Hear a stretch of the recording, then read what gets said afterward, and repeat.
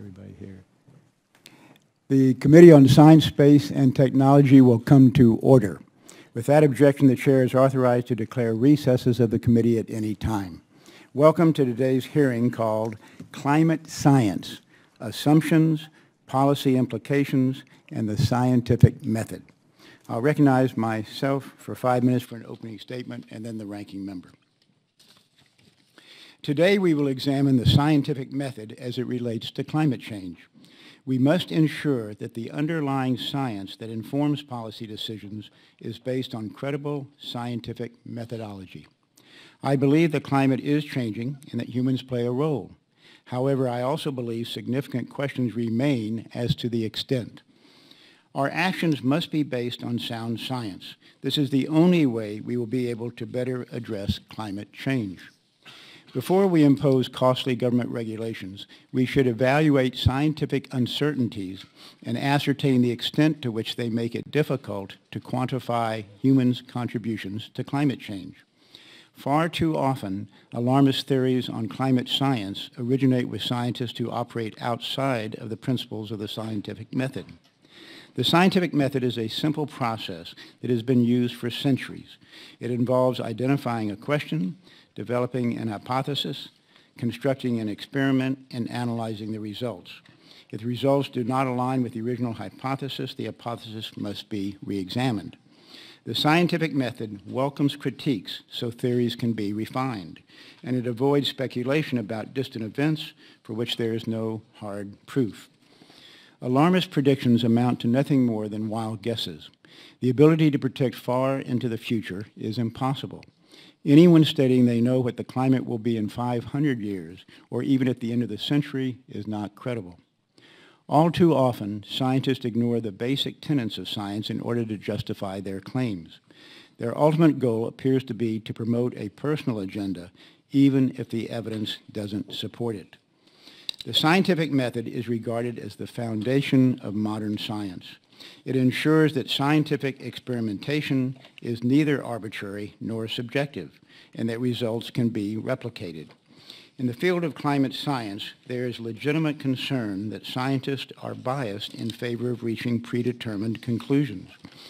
This inevitably leads to alarmist findings that are wrongfully reported as facts. The scientific method also requires that for an hypothesis to become a theory, a repeated validation of the results, called reproducibility, should be possible. However, a recent survey found that 70% of scientific researchers have tried and failed to reproduce the experiments conducted by other scientists. The lack of reproducibility is a warning that the scientific method is not being followed and that the theory may lack credibility.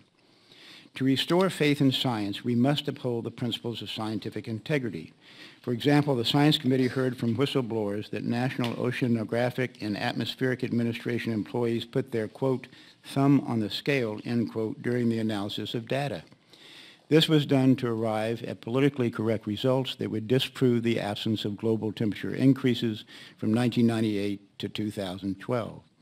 More recently, NOAA admitted to committee staff that there was no legal justification for not complying with the committee's lawfully issued subpoena requesting information. In fact, we learned that it was simply a political decision to halt any further debate on the subject. This is professional misconduct, if not worse. A similar event unfolded in 2009. Emails from East Anglia University scientists were uncovered and revealed that they frequently violated principles of scientific integrity and attempted to halt debate about climate science. Much of climate science today appears to be based more on exaggerations, personal agendas, and questionable predictions than on the scientific method. Those who engage in such actions do a disservice to the American people and to their own profession. Only when scientists follow the scientific method can policymakers be confident that they are making the right decisions. Until then, the debate should continue. Uh, that concludes my opening statement, and the ranking member, the gentlewoman from Texas, Eddie Bernice Johnson, is recognized for hers. Thank you very much, Mr. Chairman, and I thank you for calling today's hearing on climate science. I also want to thank our witnesses for being here. I want to start off today by placing our current situation in some historical perspective. The existence of greenhouse effect was first proposed in the early 1800s. By the late 1800s, scientists began to theorize that increases in carbon dioxide in our atmosphere could lead to global warming. By 1960, scientists had shown that carbon dioxide was in fact increasing in the atmosphere and humans were at least in part responsible for the increase. Scientific evidence of human-induced climate change rapidly increased through the 1970s. By 1982, even oil giant Exxon's own scientists were reporting to management that climate change due to carbon dioxide emissions was likely to occur and that the effects of this climate change could be catastrophic. Since the early 80s, when Exxon internally acknowledged the reality of climate change, the scientific evidence confirming human-caused climate change has piled up at an incredible rate. The current scientific census, consensus on human cause climate change is based on thousands of scientific studies conducted by thousands of scientists all across the globe. What does that word consensus actually mean? It means the Intergovernmental Panel on Climate Change, the IPCC, is composed of scientists from around the world, has concluded that warming of the climate system is unequivocal and that it is extremely likely that human influence was the dominant cause of global warming. The IPCC is not alone. The National Academies of Sciences has reached the same conclusion. In fact, the National Academy of Sciences is virtu in virtually every major country on earth has endorsed the IPCC's central conclusions on climate change. Most relevant scientific societies, including AAAS, the American Physical Society, the American Geophysical Union, the American Meteorological,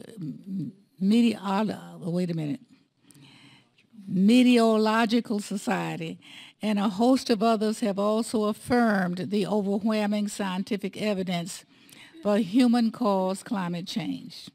Unfortunately, the long-established scientific understanding of the reality of climate change ends at the doorstep of the Republican National Committee.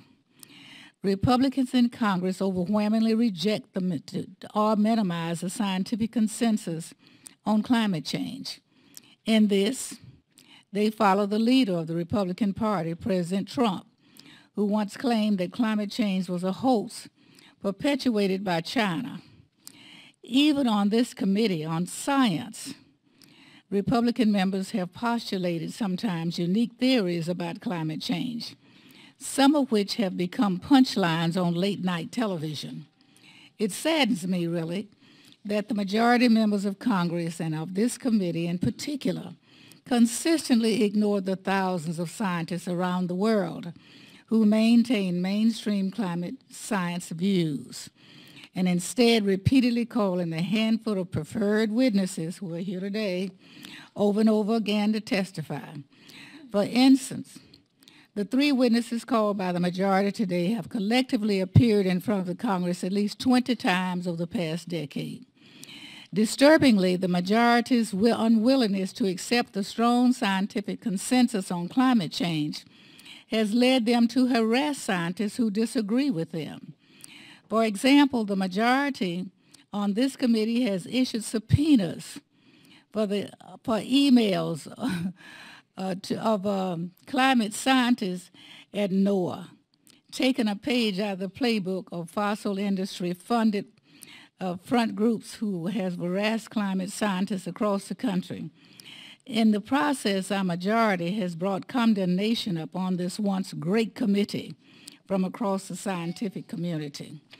Perhaps in retaliation for this inconvenient truth climate, in truth, climate scientists are now being targeted with massive budget cuts by Republicans in the White House and Congress. These cuts would devastate our ability to understand and mitigate the future effects of climate change. I sincerely hope that someday soon the Committee on Science will cease lecturing and harassing scientists and instead return to listening and supporting them. America will be far better off if we do. And finally, I'm attaching a report prepared by the Democratic staff to my opening statement.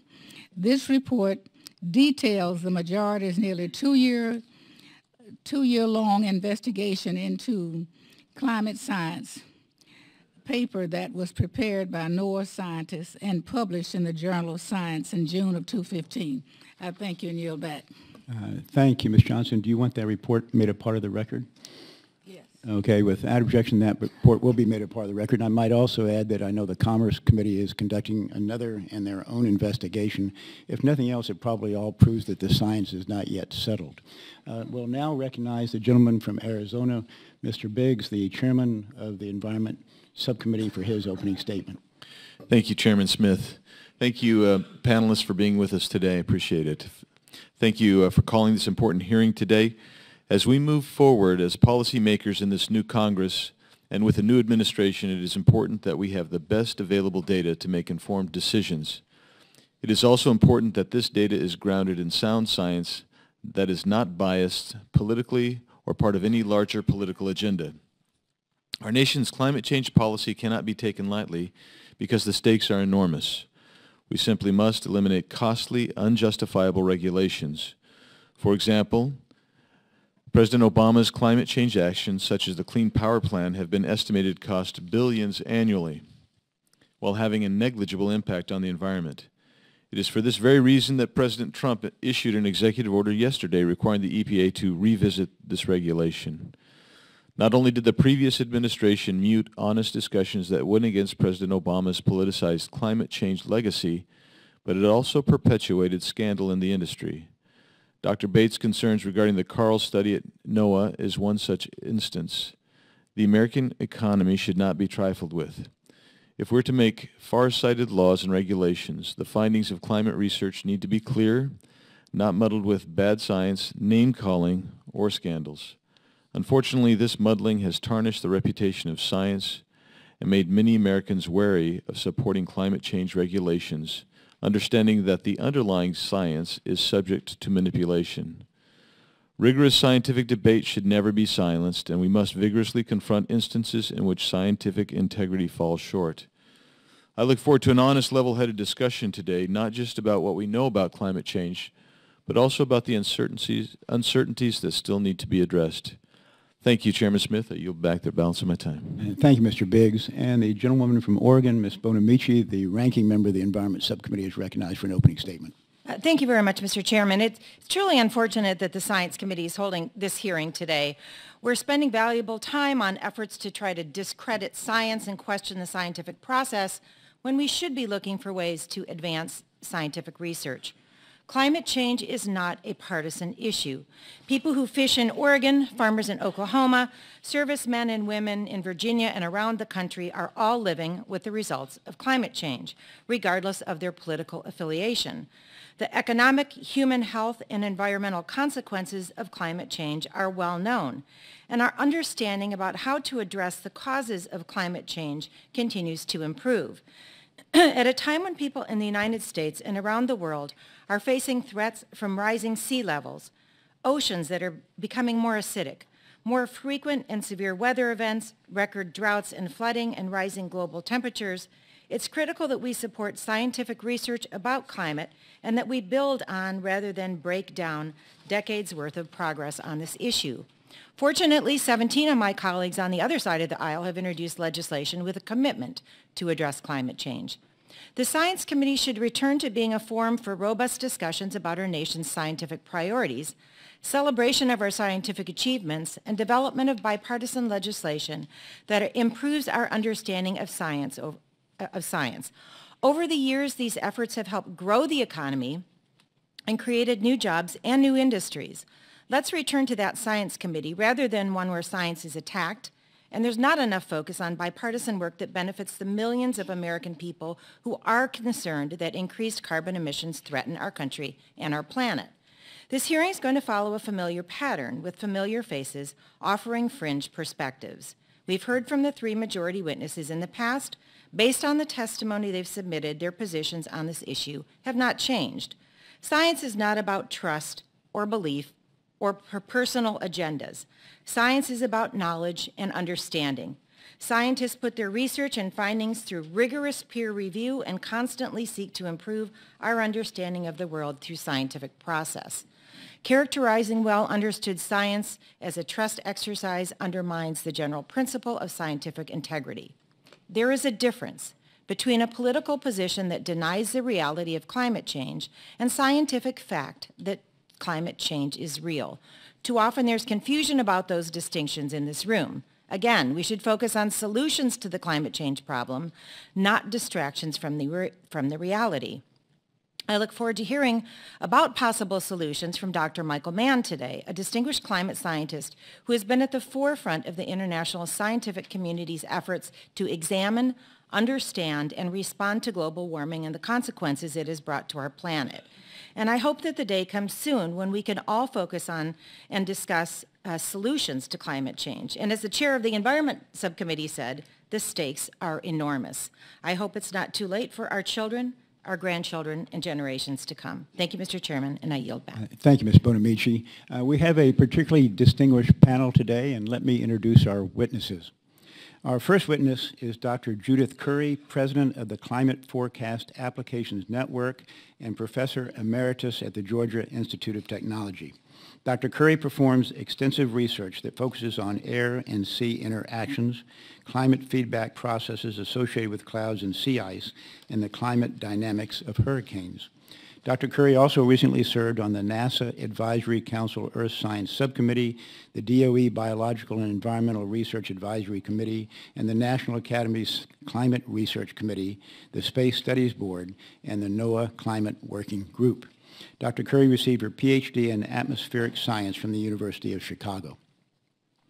Our second witness is Dr. John Christy, professor and director of the Earth System Science Center at the University of Alabama at Huntsville and Alabama's state climatologist. Dr. Christy has served as lead author, contributing author, and reviewer of the United Nations Intergovernmental Panel on Climate Change Assessments. In addition, he was awarded NASA's Medal for Exceptional Scientific Achievement. In 2002, he was elected a Fellow of the American Meteorological Society.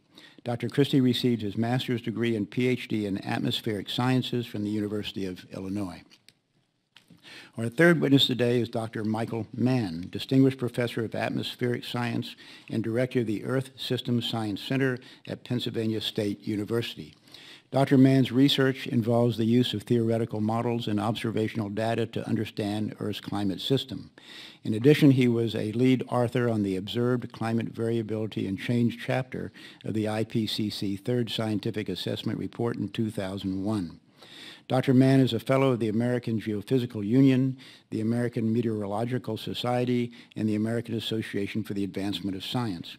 Dr. Mann received his bachelor's degree in physics and applied math from the University of California at Berkeley, his master's degree in physics from Yale University, and his PhD in geology and geophysics from Yale University. Our final witness is Dr. Roger Pielke, professor of the Environmental Studies Department at the University of Colorado. Dr. Pielke is the founding director and a faculty affiliate of the Center for Science and Technology Policy Research, and from 2001 to 2016 was a fellow of the Cooperative Institute for Research and Environmental Sciences. Dr. Pielke previously served as a scientist at the National Center for Atmospheric Research. In addition, Dr. Pielke is a senior fellow of the Breakthrough Institute and has held several academic appointments. Dr. Pielke received his bachelor's degree in mathematics, his master's degree in public policy, and his PhD in political science, all from the University of Colorado. Uh, we welcome you all, and Dr. Curry will begin with your testimony. I thank the chairman and the committee for the opportunity to offer testimony on this important topic. Prior to 2010, I felt that supporting the IPCC consensus on human-caused climate change was the responsible thing to do. That all changed for me in November 2009 following the leaked ClimateGate emails that illustrated the sausage making and even bullying that went into building that consensus. I came to the growing realization that I had fallen into the trap of groupthink in supporting the IPCC consensus. I began making an independent assessment of topics in climate science that had the most relevance to policy. I concluded that the high confidence of the IPCC's conclusions were not justified and that there were substantial uncertainties in our understanding of how the climate system works. I realized that the premature consensus on human-caused climate change was harming scientific progress because of the questions that don't get asked and the investigations that aren't made. We therefore lack the kinds of information to more broadly understand climate variability and societal vulnerabilities. As a result of my analyses that challenged the IPCC consensus, I have been publicly called a serial climate disinformer, anti-science, and a denier by a prominent climate scientist. I've been publicly called a denier by a U.S. senator. My motives have been questioned by a U.S. congressman in a letter sent to the president of Georgia Tech. While there is much noise in the media and blogosphere and professional advocacy groups, I'm mostly concerned about the behavior of other scientists. A scientist's job is to continually challenge their own biases and ask, how could I be wrong? Scientists who demonize their opponents are behaving in a way that is antithetical to the scientific process. These are the tactics of enforcing a premature theory for political purpose. There is enormous pressure for climate scientists to conform to the so-called consensus. This pressure comes from federal funding agencies, universities, and professional societies and scientists themselves. Reinforcing this consensus are strong monetary, reputational, and authority interests. Owing to these pressures and the gutter tactics of the academic debate on climate change, I recently resigned my tenured faculty position at Georgia Tech.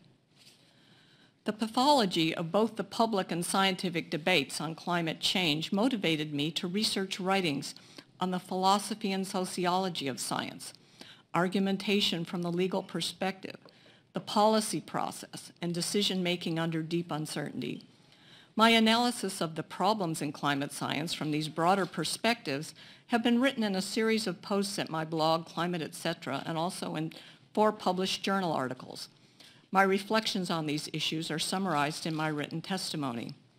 The complexity of the climate change problem provides much scope for disagreement among reasonable and intelligent people. Why do scientists disagree about the causes of climate change? The historical data is sparse and inadequate. There's disagreement about the value of different classes of evidence, notably the value of global climate models and paleoclimate reconstructions. There's disagreement about the appropriate logical framework for linking and assessing the evidence. And scientists disagree over assessment of areas of ambiguity and ignorance. Policymakers bear the responsibility of the mandate that they give to panels of scientific experts. In the case of climate change, the UN Framework Convention on Climate Change framed the problem too narrowly. This narrow framing of the climate change problem essentially preordained the conclusions from the IPCC assessment process. There are much better ways to assess science for policymakers than a consensus-seeking process that serves to stifle disagreement and debate.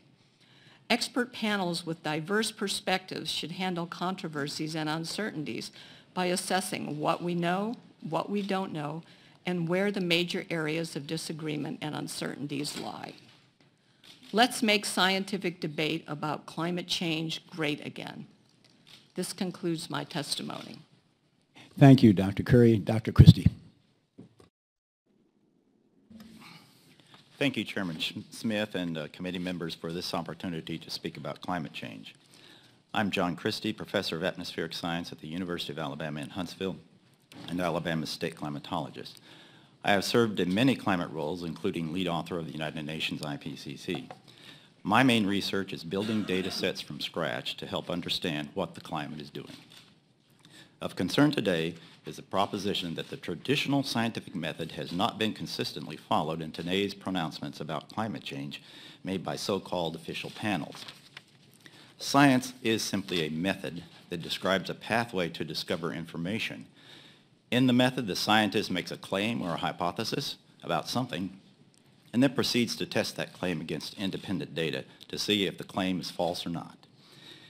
In the first figure, next, I show a vertical cross-section of the atmospheric temperature trends. Surfaces at the bottom, stratosphere at the top, and the poles on either end, tropics in the middle. This figure is simply a claim common to climate models that the bulk atmosphere in the last 38 years should show considerable atmospheric warming due to extra greenhouse gases, especially in the outlined tropical section.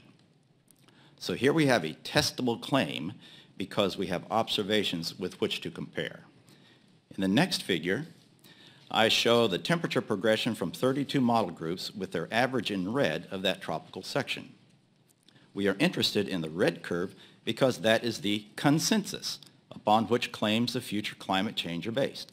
But don't overlook the wide spread of model results in the dashed lines. They're all over the place. There is no clear certainty on what the climate might do in the future. I also show observations on this chart of the bulk uh, atmospheric trend. Uh, you see with symbols, circles, squares, and diamonds, based upon three different types of measuring systems, balloons, satellites, and a merged product used in weather forecasting called reanalyses. Each of these methods has three or four different groups contributing a result. This figure looks confusing, so to simplify the test of the claim, I show the next figure, which is just the trend lines that are being compared. What is obvious is that the warming hypothesized and claimed by climate models to have already occurred has not. The warming is clearly overstated. When these trends are formally tested, the scientific conclusion is that the consensus of the climate models, the red line, fails to represent reality of the actual changes in the bulk atmosphere, and that's a foundational climate metric. Little known to many is that this result was displayed in the most recent IPCC, buried deep and without comment in Chapter 10's supplementary information. In my written testimony, I show that using that IPCC diagram, the same result as shown here occurs. The warming rate of models on which policy is based can be scientifically falsified as representing reality. Interestingly, the IPCC result, in that result, the models without extra greenhouse gases reproduce the actual observations very well. Indeed, I am a co-author of a report in which we used a statistical model to reproduce uh, to a large degree the atmospheric temperature trends without the need for extra greenhouse gases. In other words, it seems that Mother Nature can cause such temperature trends on her own, which should be of no surprise. It is astounding and disturbing that such contradictory evidence to the IPCC's main model-based conclusion that humans cause most of the recent warming could be ignored so gallantly and willfully. In my view, the dispassionate analysis of scientific results on which policy decisions are based was sidetracked by those who control the IPCC documents. This problem is pervasive in climate science. Grand compilations such as the IPCC, the National Climate Assessment, pronouncements from scientific societies who never do any scientific work on the problem, by the way, to, for their results, and even EPA's endangerment finding are on the whole written by those who are not scientifically dispassionate. And as such, the traditional, traditional method of science was circumvented, in my opinion. I'll close by noting that when someone says that precisely measuring the role of, quote, human activity on the climate is something very challenging to do, and there's tremendous disagreement about the degree of impact, end quote, that person is making a scientifically defensible statement as demonstrated by my testimony. Thank you. Thank you, Dr. Christy and Dr. Mann. Thank you, Mr. Chairman.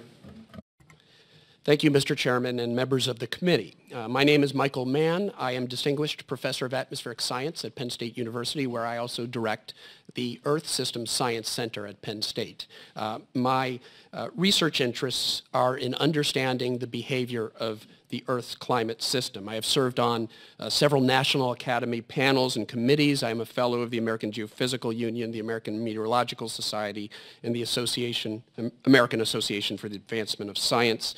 Received uh, numerous prestigious awards. I have authored more than 200 publications and several books.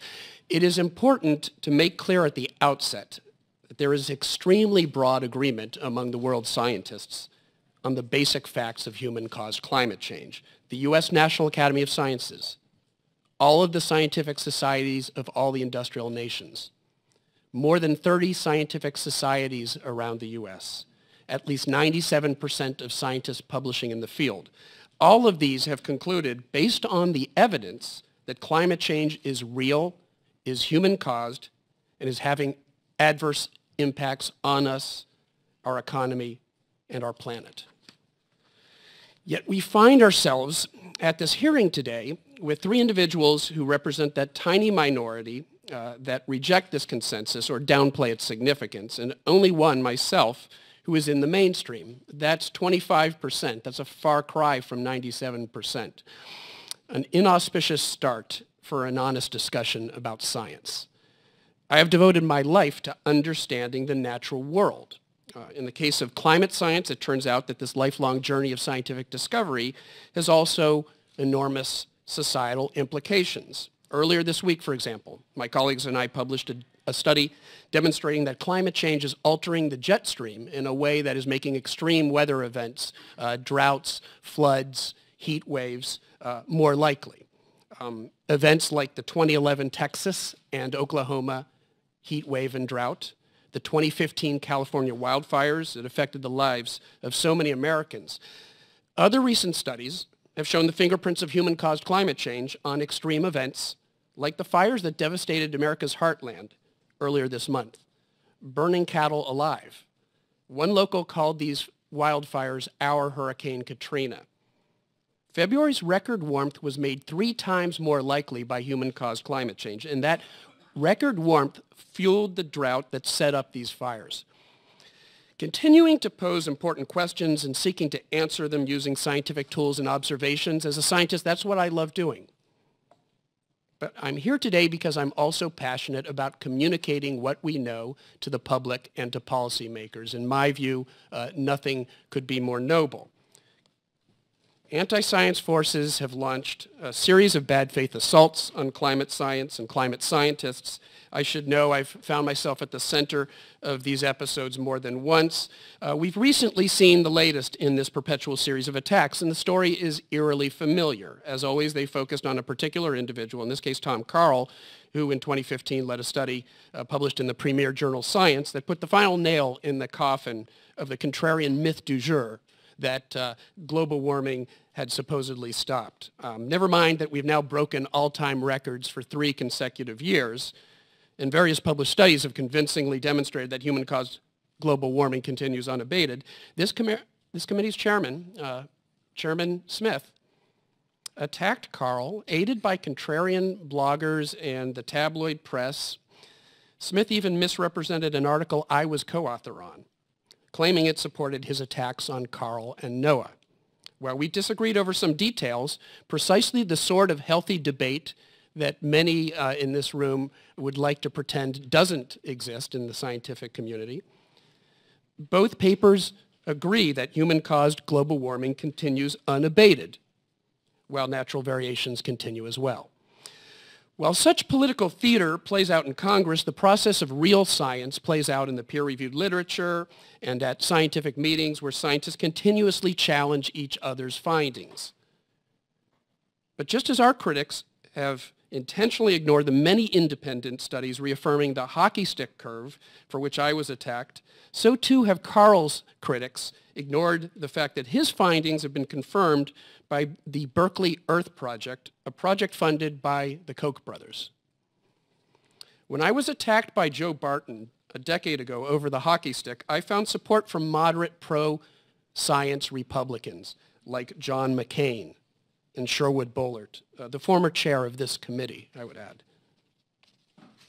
I am deeply appreciative of the efforts today by Republicans like Bob Inglis of South Carolina and former Reagan administration officials James Baker and George Shultz to promote conservative climate solutions.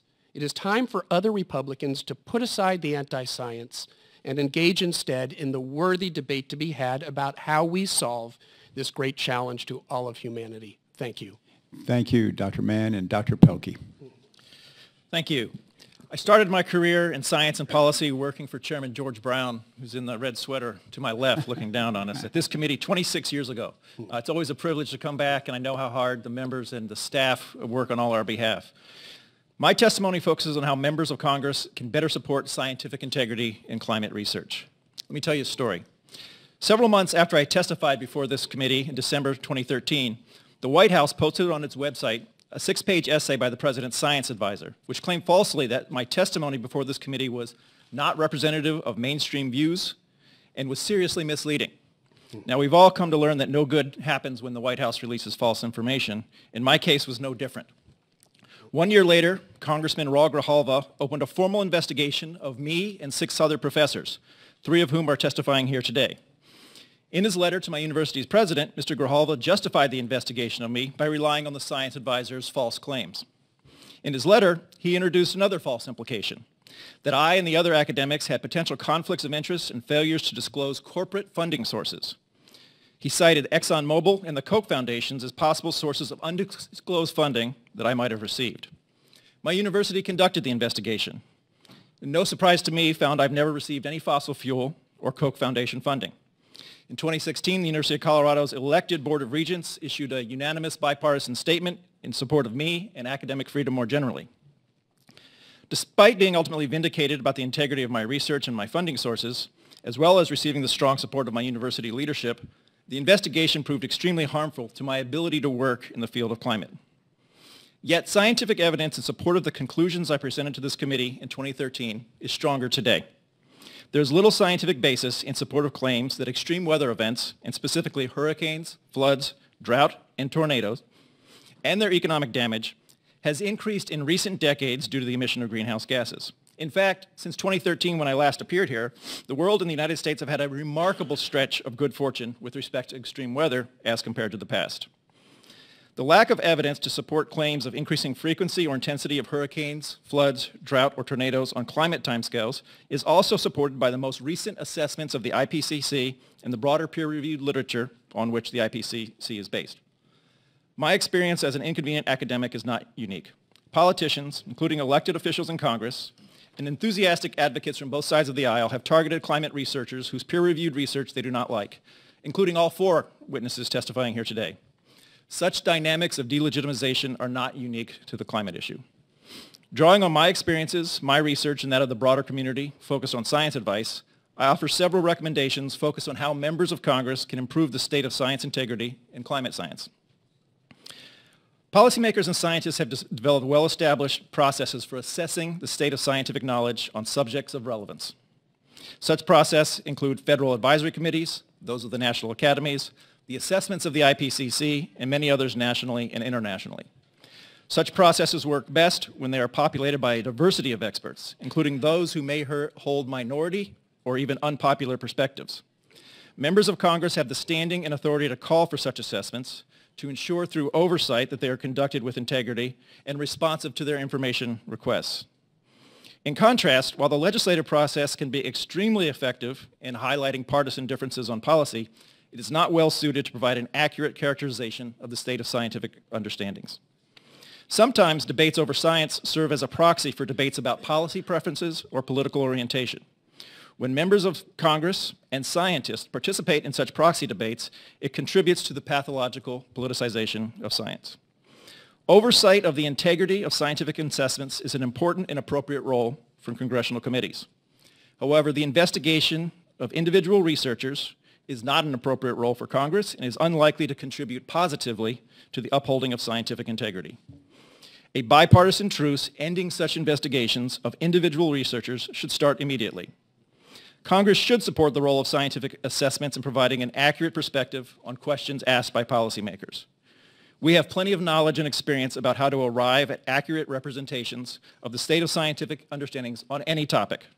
It's a choice whether or not to use that knowledge and experience. Thanks again for the opportunity to share these views. Thank you, Dr. Pielke, I'll recognize myself for questions and let me address my first question to Dr. Curry. And Dr. Curry, let me say at the outset, I know you could take an hour to answer this question. Unfortunately, you'll have to give me a summary. And the question is this, what are the uncertainties, complexities, biases involved with climate science or the study of climate science that need to be considered before we can actually make informed uh, decisions about what to do about climate science?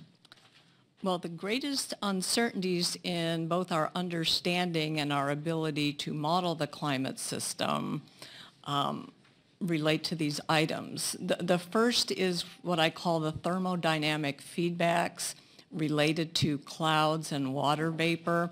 Climate models have a large amplifying effect from clouds and water vapor. The magnitude of this amplifying effect and even the sign are in dispute. Um, a lot about the oceans that we don't understand, how the ocean transports heat and carbon in the vertical is not well represented in the climate models. We also have these very large-scale, long-term ocean oscillations, which play a huge role in determining our climate. These are not well simulated, and we don't have good documentation of the really long time period oscillations. The effects of the sun on climate, particularly the indirect solar effects. And I could go on and on, but I think those are the key issues. And you didn't even get into the biases and other uncertainties, but that's a good start, and that gives us an idea. Thank you, Dr. Curry. Dr. Christy, the uh, PowerPoints you put up on the flat screens a while ago, I thought were absolutely riveting and at least to me very persuasive. Uh, my question is, why are both the satellite and surface temperature measurements so far below the climate model pre predictions? In other words, there's a conflict between the data and the predictions. Why is that? Well, there are a lot of answers, I suppose. I can speculate about some. What we've seen is that the models tend to be too sensitive to greenhouse gases, likely related to the fact the models tend to shrink clouds more than, reality, than in reality so that more sunlight gets in and heats up the earth more. So that's one idea that may be the reason, but overall the basic answer is the models are too sensitive to extra greenhouse gases. The earth has a way to release the heat that greenhouse gases yeah. try to build up. I, I, think most instructive was the line that showed the actual observations as opposed to the modeling uh, and how big of a discrepancy there was between the two. Thank you for pointing that out. Dr. Pielke, um, you in your testimony today mentioned that extreme weather events are not necessarily caused by climate change. In fact, the IPCC has said there's low confidence that there's any connection between climate change and extreme weather events. Um, why are some climate scientists claiming that there's a connection when uh, you and other scientists in the IPCC all says there's likely not a connection? Yeah, when, when you talk about trends and extreme events, it's really important to focus on the phenomena. You're talking about hurricanes, floods, drought, and look at those individually.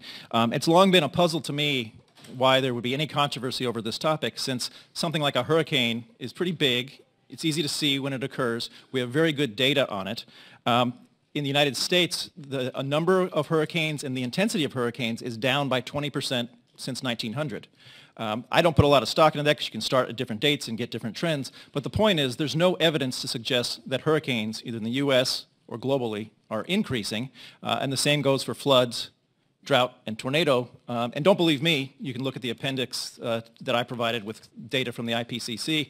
Um, so why people would hang their hat on long-term trends in extreme weather um, is a puzzle.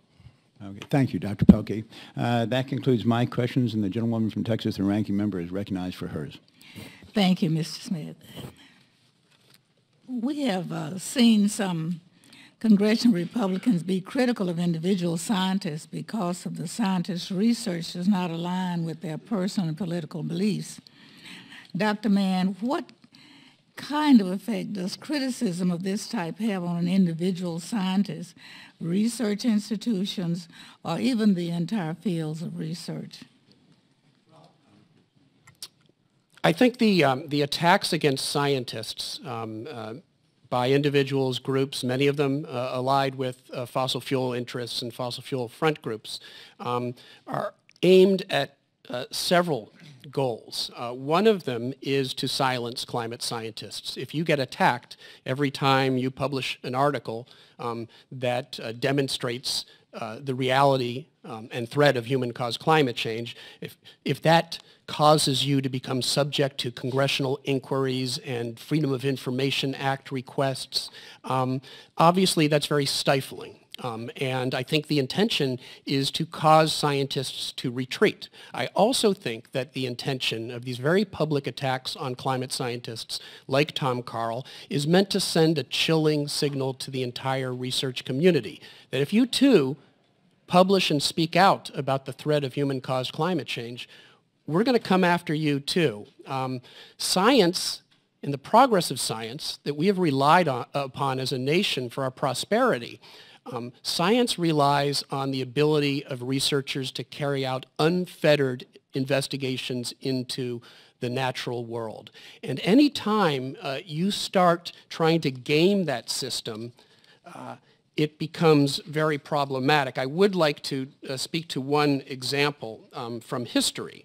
Uh, this is the example of uh, Trofim Lysenko uh, was a Russian agronomist, um, and it became Leninist doctrine to impose his views about heredity, which were crackpot theories, completely at odds with the world's scientists. Um, under, uh, under Stalin, rather, uh, scientists were being jailed if they disagreed with his theories uh, about agriculture, and Russian agriculture actually suffered. Uh, scientists were jailed. They died in their, in their jail cells, and uh, potentially millions of people suffered from the disastrous agricultural policies that followed from that. So that's what happens when fringe scientific views that might support a particular ideology are allowed to trump actual mainstream science. you stupid big fat bald-headed old fool with the little hands. That's you. You're Trofim Lysenko. Thank you.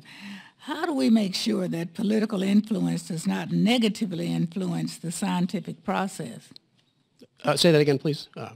How, do, how can we make sure that political influence does not negatively influence the scientific process? Well, you know, I agree with um, Roger Pielke uh, Jr. Um, that we have to discourage investigations uh, that are aimed at uh, discrediting and threatening um, individual climate scientists uh, about their research. Now, asking for a scientist's source of funding to me is fair game, and I'm more than always more than happy to provide details about where my funding comes from. I, I think any scientist should be willing to do that, and Congress has a right to know that, that information as well. But going after scientists uh, simply because you don't like the implications of their research, not because their science is bad, but because you find the implications of their research inconvenient to the special interests who fund your campaigns, I would hope we could all agree that that is completely inappropriate. It, it's a threat to science. It's a threat to our, our, prosperity as a nation, which relies on scientific research, unfettered, honest scientific research. Thank you very quickly. Dr. Pielke has accused you and other climate researchers of being bullies uh, toward individuals who don't agree uh, with you. Have you been a target of personal attacks based on your research? Well, I have. As I, have just mentioned, the, the hockey stick um, uh, graph uh, became a focus of attacks by uh, congressional Republicans like uh, Congressman Joe Barton, Ken Cuccinelli, the Attorney General of Virginia. Um, uh, of course, our, our, our, research ultimately has been validated time and again, and yet the attacks continue because it was an iconic research result. But I would like, and, and, it, and it spoke to the obvious fact that our globe is warming and it's due to human activity. Um, but I would like to speak to um, this other uh, point you raised about uh, Dr. Pielke and, and, others accusing climate scientists like myself of being bullies. Um, I, I, do think that's rather rich coming from Roger. Um, uh, he, he does have a history of bullying other scientists who criticize him and then sort of pointing to himself as the victim. Uh, three years ago, he wrote a piece for Nate Silver's new 538 website that rejected the connection between climate change and extreme weather. Um, keep in mind, Roger isn't an actual climate scientist. Uh, a number of actual climate scientists, including Kevin Trenberth, who was a distinguished researcher at the National Center for Atmospheric Research, challenged um, publicly challenged his, his statements um, in his article.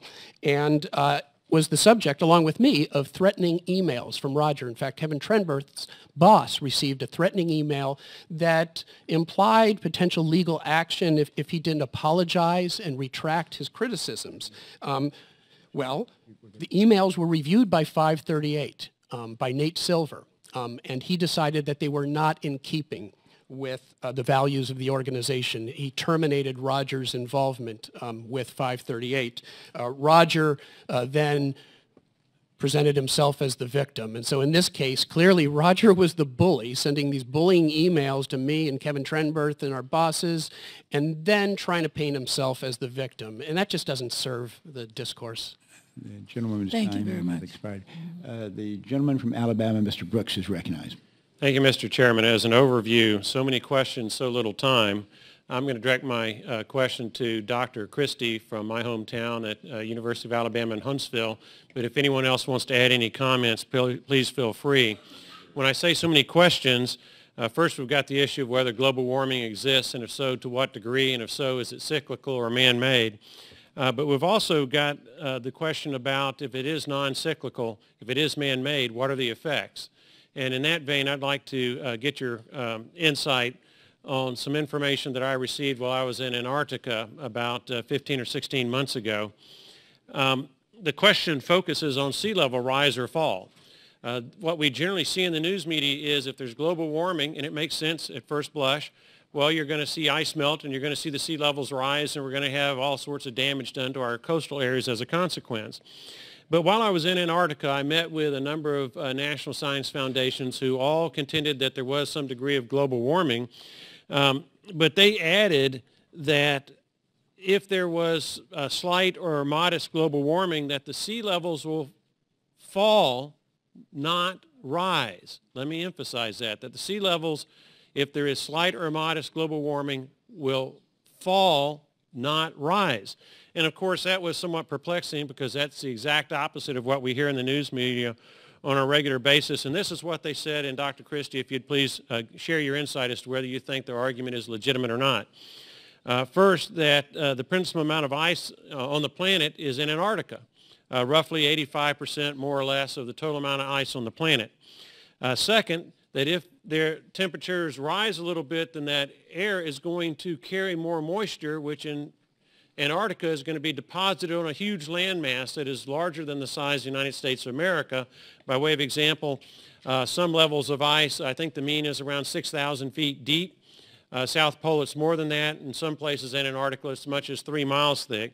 And that it takes hundreds of years for that ice that has fallen in Antarctica to actually reach the coastline, which means that if it temperature goes up a little bit because of this effect, you're actually looking at more snow and ice being deposited on Antarctica and water being taken from the oceans, um, more than offsetting whatever melt there may be in Greenland or the Arctic. So uh, what are your thoughts uh, on that uh, theory or argument that they were raising uh, to us in Antarctica? Well, thank you for the question, Congressman. Uh, I will yield to our polar expert here, uh, Dr. Curry, for the answer. Well, Dad Gummit, I wanted to do something with a local boy, but go ahead, Dr. Curry. It's pretty hot in Alabama. All right, thank you, John. Well, the mass balance of glaciers is a complicated topic, and we have, you know, new satellite technologies that are trying to measure this from laser altimetry and, and so on and so forth. But you see glacier accumulation in some regions due to increased snowfall, and then there's a few regions where you see it melting. And this is true both for Greenland and Antarctica.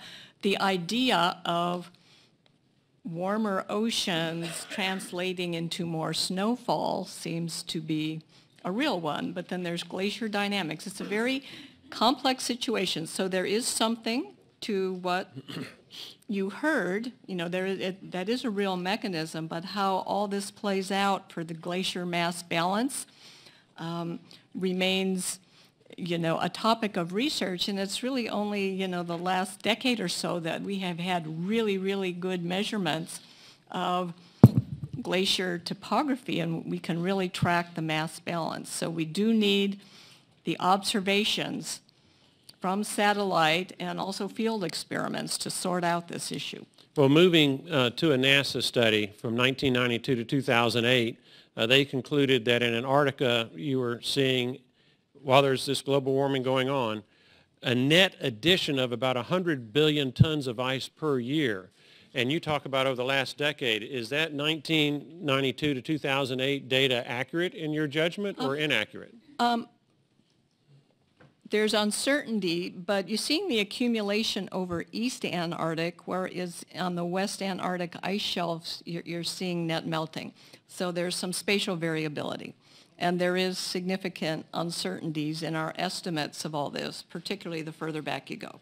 Anybody else want to add any comments uh, to that issue? Dr. Mann?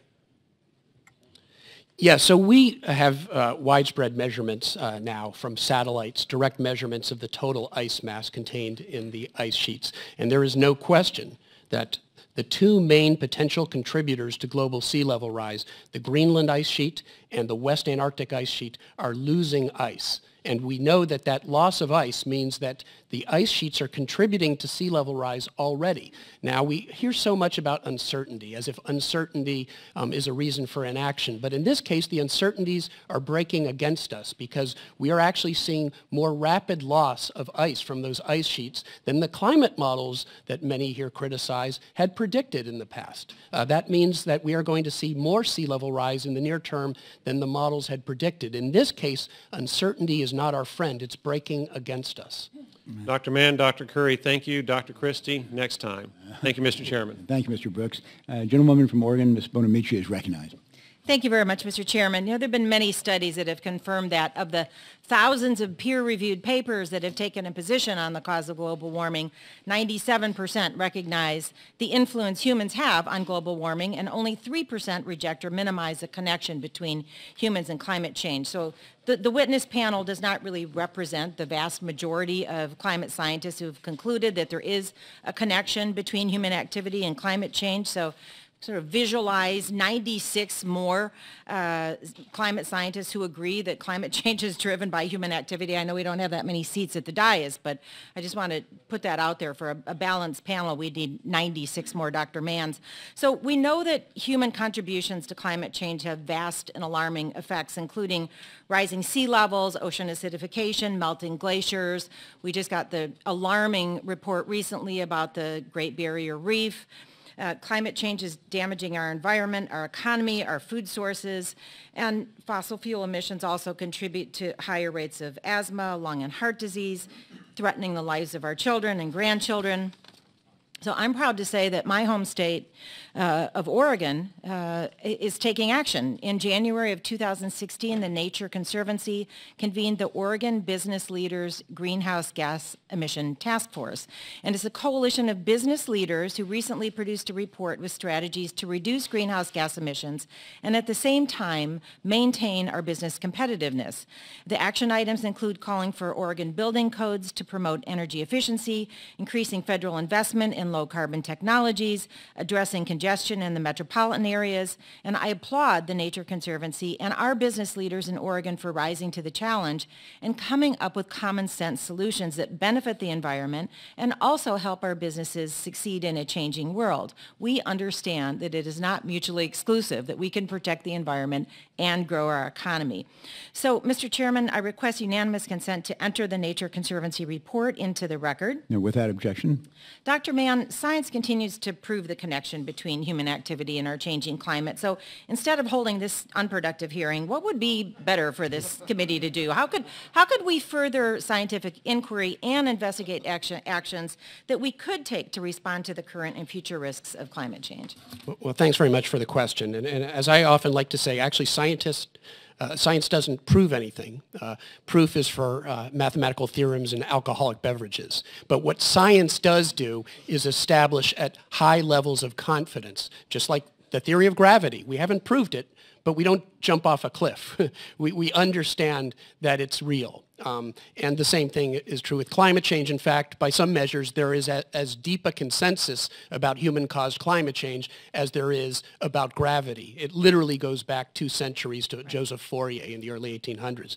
Um, so as I've said before, uh, what I would like to see, what I would hope we would see in Congress is a good faith debate between politicians on both sides of the aisle uh, advocating for solutions to this problem that are consistent with their ideologies. Um, and I think it's great that there are Republicans and conservatives today who are out there saying to their fellow Republicans, let's put aside the anti-science. This is about U.S. competitiveness. The rest of the world is moving ahead. They're transitioning to renewable energy. They're actually tackling this problem, and we stand to get left behind. Thank you. I'm going to get another question. I did, I did want to note that Mr. Pielke's testimony indicates he would, might support a carbon tax. I wish we were having a hearing about that.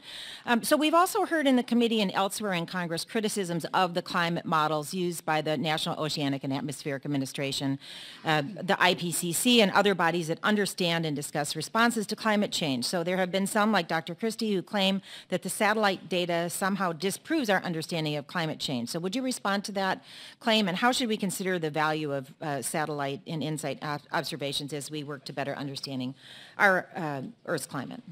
Well, thanks for the question. And um, I, would say that, you know, that, that statement that um, the satellite data somehow disprove human-caused climate change. It's what I call an RUS. Um, it's a, a, ridiculously untrue statement. And the surface and, and near surface temperature records, um, in fact, if we can show Exhibit A um, from my written uh, statement here, um, shows that all of the, the surface and, and near surface temperature records agree that there's a steady long-term pattern of warming. Um, that's true for the the, temperatures um, uh, measured by thermometers at the surface, the balloon measurements um, in the lower atmosphere, and both John's satellite data set and other estimates uh, from the same satellite data. Now I should point out that that's John's uh, satellite data set after it's been corrected for numerous errors uh, that he had made over the years and which um, uh, became, came to light because of other attempts by other researchers to reproduce his results. And ultimately now with those corrections, his satellite record is basically consistent with these other records. They all show long-term warming. And I would add, by the way, that if he is right um, that the mid and upper troposphere are not warming as fast as uh, the models say. And there's a paper uh, just out a week ago by Ben Santer, um, Susan Solomon, Presidential Medal of, of Science winner, um, a, a, very austere team of climate scientists that has shown that his claim of the observations not showing the model predicted warming in the mid and upper troposphere is largely a artifact, an artifact of the fact that he's mixing in stratospheric temperatures. The stratosphere actually cools. In global warming, the lower part of the atmosphere including where we live, the troposphere warms, the stratosphere cools. His satellite estimates actually smear some of that cooling stratosphere into what he's calling the upper troposphere, and that's the reason for the discrepancy. And if he was right that it was warming less quickly than the models predict, it would actually imply the opposite of what he claimed earlier. It would imply a higher climate sensitivity because it turns out that one of the negative, what we call the negative feedbacks, one of the ameliorating uh, effects, the so-called lapse rate feedback, would not be as strong as we think it it is. So it would actually mean that the climate is even more sensitive to increasing greenhouse gas concentrations. Thank you, Dr. Mann. I'm, I'm, out of time. Yield okay. back. Thank you, Mr. Chairman. Uh, the gentleman from Arizona, Mr. Biggs, is recognized for his questions. Thanks, Mr. Chairman. And uh, I guess I'll go back to you in this ping pong ball uh, uh discussion, Dr. Christy. Um, uh, you know, that's it was very interesting. Uh, would you like to respond to Dr. Mann's explanation of oh, your absolutely. What he said was incorrect the satellites, balloons, and reanalyses, 12 or 10 different uh, measuring systems show the same thing, all include the stratospheric portion, which is very tiny in the tropics. The models included it as well. And so it was an apples to apples comparison. What I showed was a legitimate scientific test. And I would just like to say one other thing. Science is not done by polling. It's done by numbers. And I showed numbers that can stand up uh, you know, under cross-examination, those are the numbers that are out there, and that we see the climate models do fail when compared against real data. And uh, Dr. Christy, continuing with you, um, we've heard referred to any, basically, if you don't toe to the consensus view on climate here, that uh, you're practicing anti-science. I was wondering what your uh, comment would be on that. Um, I, I, would just say I don't practice anti-science, and people can say what. It's something you should understand. Scientists are people, and they say crazy things all the time. They are people and human. Was, sounds like Congress is really what it sounds like there. Well, this hearing is really focusing on, on scientific method, and, and, and some of our recent discourse might have gotten a little bit away from strictly scientific method, but uh, a lot of research on climate change receives significant funding from governments, and by extension, that means the American taxpayer. So my next questions are, are focusing on us uh, really trying to get at funding and how it might uh, impact uh, outcomes in, research and, uh, and potential biases. So the Congressional Research Service has estimated that between 2008 and 2013, the United States government spent $77 billion on climate change. And it's my understanding that the Government Accountability Office is also working on a similar in-depth report. So uh, I'll go with you, uh, Dr. Curry. Uh, are there concerns that climate change funding across many federal agencies may be duplicative or even sometimes wasteful? Well, I think that the funding for observing systems, particularly satellite observing systems, is money very, very well spent. Also for our ocean observing systems. I mean, this is critical information that we need, and I urge you to support continued funding of these. My concern is that too many announcements of opportunity from funding agents, you know, implicitly assume that climate change is caused by humans and that it's dangerous. And as a result, what we get is what a lot of research that I would call climate model taxonomy, where scientists just analyze the output of the IPCC production runs and you know make claims that you know climate change causes syphilis or will stop growing grapes in California or whatever. You've seen all these claims, and and these are not useful studies. What we need is more fundamental climate dynamics research to understand how the climate system works on decadal to century time scales and use this understanding to develop new structural forms for our climate models. That's what I think we need to do to move all this forward. And Dr. Pielke, um, is there any way to determine how much of uh, the funding that we see going uh, uh, to support this, uh, what has been called the consensus of science, or those who, who question the consensus, or perhaps might be uh, skeptical anyway? Is there any way to track that? Um, well, let me say at the outset that the, the findings uh, related to climate science have been largely consistent since the 1980s. yeah, there's a lot of details, but there is fundamental risk it's not going away, and there are fundamental legitimate disagreements, as you heard here. What has happened in climate science is that this idea of a 97% consensus went from characterizing what the research looked like to characterizing what views were le le legitimately allowed to be aired. Um, the fact that a, a, scientist as distinguished as John Christy uh, is excoriated in the media by politicians uh, on social media on a daily basis for doing legitimate science tells us something about the pressures uh, to conform to a particular point of view. Uh, but, but let me say, you can fund billions and billions of dollars more climate research and the findings will be very much the same. There's fundamental risks, the, the future is uncertain, and we have choices about whether and how we might want to mitigate those risks. Thank you. I'll yield back. Thank you, Mr. Biggs. The gentleman from California, Dr. Bera, is recognized. Thank you, Mr. Chairman. So a lot of people have talked about the scientific method. And yeah, I am a scientist. I'm a, a doctor. I've spent a lot of time in the lab, um, a lot of time doing research. And as a physician, how I interpret the, the scientific method is to discover cause and effect relationships by asking questions, gathering um, and examining the evidence, and seeing if all the available information can bring you to a logical conclusion. So let's do that. Let's actually go through the, the scientific method here and gather information. The temperature is rising. You know, Dr. Mann, what was the, the hottest year on record? 2016. Second, 2015. Third, 2014. Fourth, 2010. So we see this trend. Even Dr. Christy's graphs show, you know, while there's variation, show a trend line of warming temperature. Dr. Mann, is the polar ice melting? Yes? Does ice melt when it gets colder or hotter?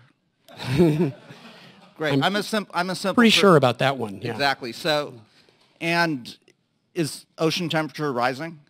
Equally sure about that one. Okay, so we've gathered the facts. Now let's start to think about, okay, what's, you know, those are the, what's causing this? So we can agree that we ought to move the conversation towards what's causing it. And even Dr. Pielke, you said we can talk about how we mitigate those causes. Yes, no one's going to disagree there's variation in, you know, weather patterns. You know, in my home state of California, we've gone through um, dramatic droughts in the past few years. Not this year, though. We're having one of the, if not the wettest year on record, one of the wettest years on record. So there is variation. But that doesn't mean we ought not to be thinking about what's, what's, what's causing this and move the conversation. And we ought not to, whether you deny that climate's changing or deny that the, the earth is getting hotter, or you agree with that, as the vast majority of scientists do, we ought not to be persecuting our scientists. We ought to be having an open dialogue, and there's no problem with varying opinions, but we ought to have an honest conversation about it. Um, you know, do any of you think the, um, do any of you disagree with the fact that the Earth rotates around the sun? Pretty, pretty given science. But in 1633, Galileo was persecuted for putting forth that theory. Again, let's not go back to that time. Let's actually move this conversation forward. This is the Science and Technology Committee. Let's have an honest conversation about what's happening. We all agree the Earth is warming. We all agree that we're seeing more extremes of, of climate. Let's start mitigating that. You know, again, you could argue whether humans are causing this or if it's natural. I seem to think, you know, there's a human cause of this. So, Dr. Mann, where would you proceed if, if you were to, again, advise this committee? Well, um, let me first say, you know, the scientific method, we, have heard this uh, term uh, quite a bit. Uh, the chairman keeps using this term. I do not think it means what he thinks it means. Uh, according to an article that came out a few days ago in the journal Science, uh, Chairman Smith was on record at the Heartland Institute. This is a climate change denying Koch brothers funded uh, outlet um, that has a climate change denier conference every year. And uh, Chairman Smith spoke at that conference. Dr. Mann, don't mischaracterize that Well, let me, let me Uh, finish my... No, they do not say that they are deniers, and you should not say that they are either. Well, uh, we, we can have that discussion. I'd be happy to. Let well, me finish be my statement. accurate in your description. That's I, I stand by my statement, but can I finish my uh, uh, point? I'd like to reclaim my time. yes. Um, so uh, he uh, indicated at this conference that he, according to science, and I'm quoting from them, he sees his role on this committee as to a tool to advance his political agenda rather than a forum to examine important issues facing the U.S. research community. As a scientist, I find that deeply disturbing. Uh, Dr. Mann, who said that? Uh, this is according to Science Magazine, uh, one of the most respected um, And, outlets and, when it comes and to who are they quoting? Um, this is the, uh, the author, uh, Jeffrey Mervis, who wrote that article. I, would be happy to send to committee the, uh, the Okay, article. uh, that is not known as an objective writer or magazine. well, it's Science Magazine. Yeah, I'd, If I'd like to. Re- objective- I'd like to. I, I'd, li- I'd like to reclaim my. my And time. the uh, gentleman from California reclaims his time. Great, Dr. Mann, if you could um, submit that paper to me, you know, we'd like. absolutely. We'd love to submit that for the record. Yeah, uh, it'd be my pleasure. Um, so just to continue, so science involves an objective search for truth. Um, and that's what scientists do, and we challenge each other. It's not the love fest that some would like to make it sound like. Uh, my um, good friend, who's no longer with us, Steve Schneider, used to characterize climate uh, or science in general as a contact sport because scientists are constantly con- uh, contesting um, in the peer-reviewed literature at meetings. The way you get ahead in science isn't by saying, yes, I agree with everything. I agree with all the others. The way you get an article in the journals Nature and Science is by showing something different, something new. And so that's the self-correcting machinery that keeps science, using the language of Carl Sagan, that keeps science on a path towards truth. What we uh, stand uh, to be in danger of here is to have that machinery basically destroyed by the politicization of science. I, I couldn't agree with you more. So let's not persecute our scientists. We can disagree. We can have robust debate, but let's actually have an honest, robust debate. Thank you. Uh, Thank you, Dr. Bera. And uh, with that objection, I'd like to enter into the record three articles on the so-called 97% consensus, which shows that there was no consensus. The 97% was derived from a small sample of a small sample, and the question wasn't whether humans contributed most of the change in climate, uh, but whether they contributed any part at all. The surprise is not more than 97%. Anyway, the 97% figure has been misused today a number of times, and without objection, those articles made a part of the record. Uh, the, um, the gentleman from Louisiana, Mr. Higgins, is recognized for his question.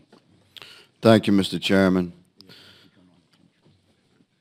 Dr. Mann, are you affiliated or associated with an organization called the Union of Concerned Scientists? Um, uh, no, I, I, I of You're course, not on- affiliated nor associated with them. Am I associated with All right, them? I sir. know people are you, who are. Are you uh, affiliated or associated with an organization called the Climate Accountability Institute? Um, no, I mean I may. Uh, cer- I You're may not affiliated correspond nor with them. associated with them. I can provide you. I have. I've submitted my CV. You can see who I'm associated with. These with. two and who I'm not. organizations, are, are they connected directly with organized efforts to prosecute man-influenced climate skeptics via RICO statutes? the way you've uh, phrased it, I would uh, find it extremely surprising if what you said was true. Dr. Pielke, I'm going to ask you a series of short questions, please. Are hurricanes increasing?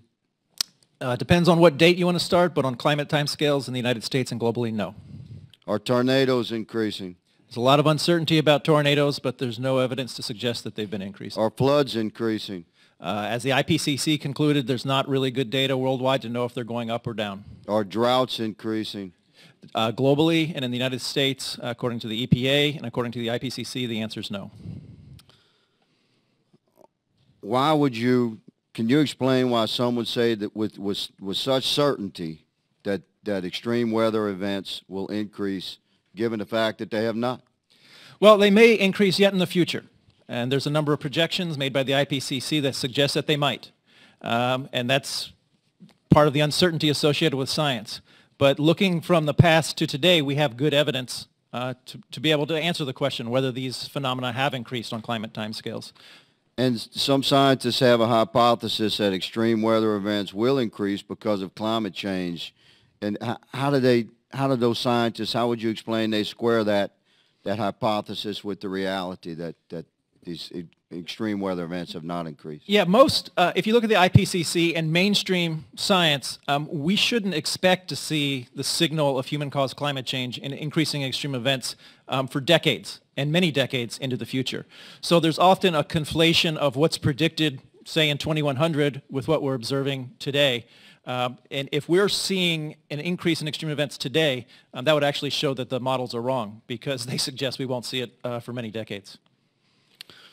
Thank you, sir. Dr. Mann, would you be able to, at some future date, provide to this committee uh, evidence of your lack of association with the organization Union of Concerned Scientists and lack of your association with the organization called Climate Accountability Institute? Can you provide that documentation to this committee, sir? Yeah, so you haven't defined what association even means here, but it's all in my CV, which has already been provided to committee. Would you provide a statement I'll to send this it again. committee Yeah. regarding your assertion? I will send it again. Thank you, sir. Mr. Chairman, I yield back. Uh, Thank you, Mr. Higgins. The gentleman from New York, Mr. Tonko, is recognized. Thank you, uh, Mr. Chair. Uh, As an engineer, I know a few things about uncertainty. I know, for example, that everything from a steel beam to a parachute has a certain very small probability of failure. We have to account for uncertainty to be able to build large buildings and great structures that last for generations. We do the math, we check out our work, and we test it. We go back over time and shore up any weak spots. And when everyone does their part to build and maintain and test them, these structures remain strong. Science works in a similar way, thriving on the uncertainty that lives between evidence and conclusions. So when a few individuals express doubt about climate change, scientists listen, check their theories against the available data, and continue to observe and improve. But like the failure rate of that steel beam, the uncertainty in climate change science is known and negligible. For every one scientist who disputes the fact that human activity is driving climate change, there are 17,352 who acknowledge human uh, activity is the main driver of climate change. So if we have a handful of scientists here in this room today who are skeptical about the human role in climate change, there are tens of thousands more credible, trained scientists out in the world standing up for the scientific fact that humans are the major driver of climate change. It is notable that those tens of thousands of scientists are represented here solely by Dr. Mann. I want to thank Dr. Mann for being here today and representing this overwhelming consensus. The scientific community thrives on skepticism and uncertainty, but denial is something different. Unlike healthy scientific skepticism, climate change denial stands today as one of the great pillars in the pantheon of political manipulation. Decades ago, major players in the fossil fuel industry saw the issue of climate change gaining popular attention. They also realized that any serious effort to reduce carbon pollution and greenhouse gases could be a death blow for their industry. So instead of embracing the clear evidence in front of them that fossil fuels contribute to climate change, they launched one of the most successful misinformation campaigns in our American history, right up there with the tobacco industry lying about cancer risks. In 1998, the fossil fuel industry laid out its misinformation strategy and tactics in something they called the Global Climate Science Communications Action Plan. Mr. Chair, I ask to enter this document into the record. Uh, without objection. Thank you.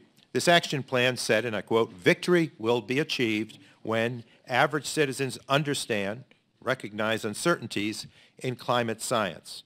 Media understands, recognizes uncertainties in climate science. The plan also called for identifying, recruiting, and training a team of independent scientists to participate in media outreach.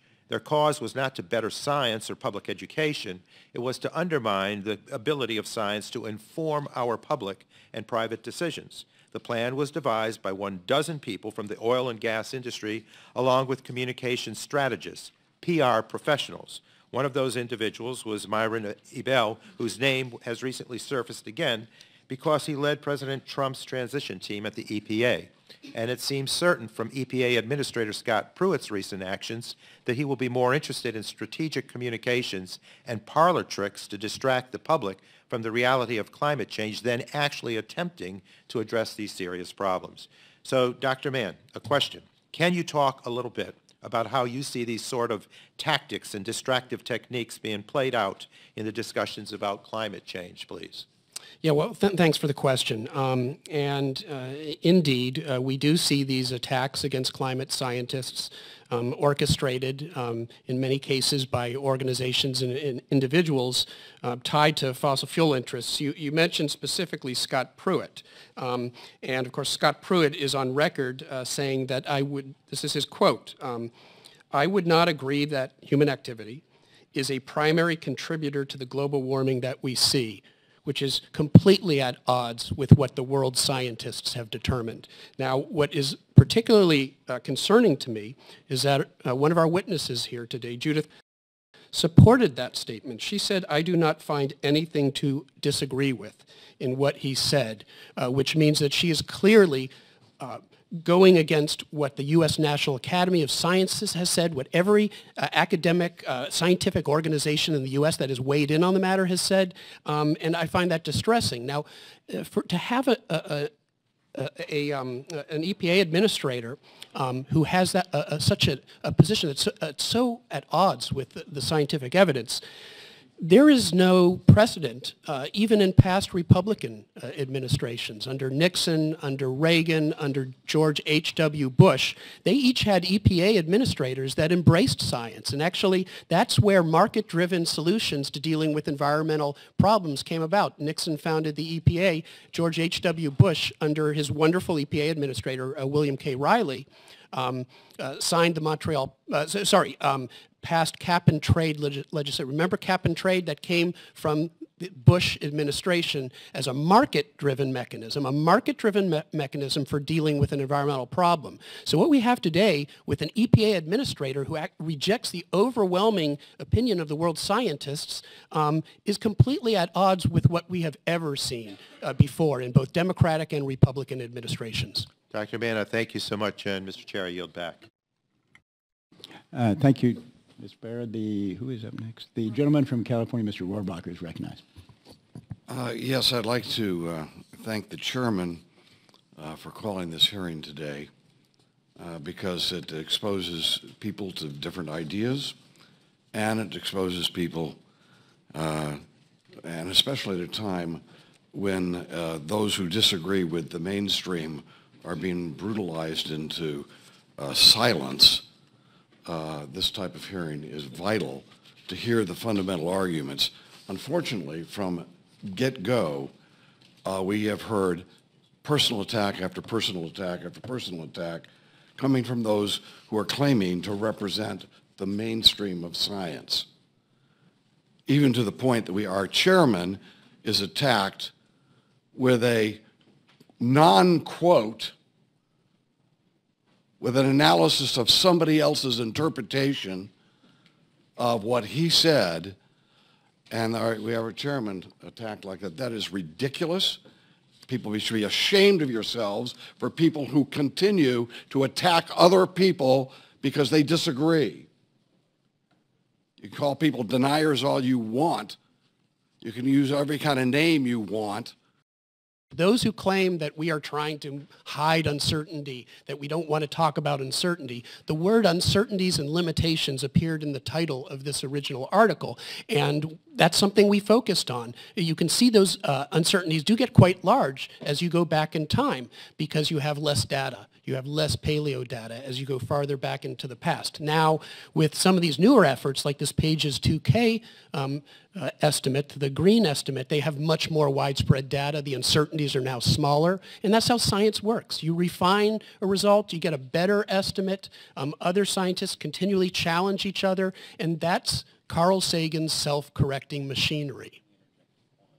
Well, thank you. But what, why is it so narrow now in the current time, the, the uncertainty region? Yeah, because we, we've got widespread thermometer data over the last century and a half. So as we get more data, the uncertainties get smaller. And the red curve shows the instrumental record. We don't need paleo data to tell us what's happened to temperatures over the past century and a half. We've got widespread thermometer measurements for that. And these are measurements in the ocean and in the atmosphere and all over the whole planet. Uh, that's right. And to people who say, we, they- you know, they, they don't trust the surface temperature record. Well, we've got measurements from the ocean surface. We've got measurements of the land for all the continents. We've got the southern hemisphere. We've got the northern hemisphere. Uh, they all point in the same direction. We've got uh, lots of independent information from holes in the ground, boreholes, an independent way of, of estimating surface temperatures back in time. Dozens of independent lines of evidence that all come together telling us the same thing. That's how science works. That's why there's the consensus, not because we're standing around holding hands, because independent teams of scientists coming at the problem from different angles, arriving at the same consistent answer over and over again.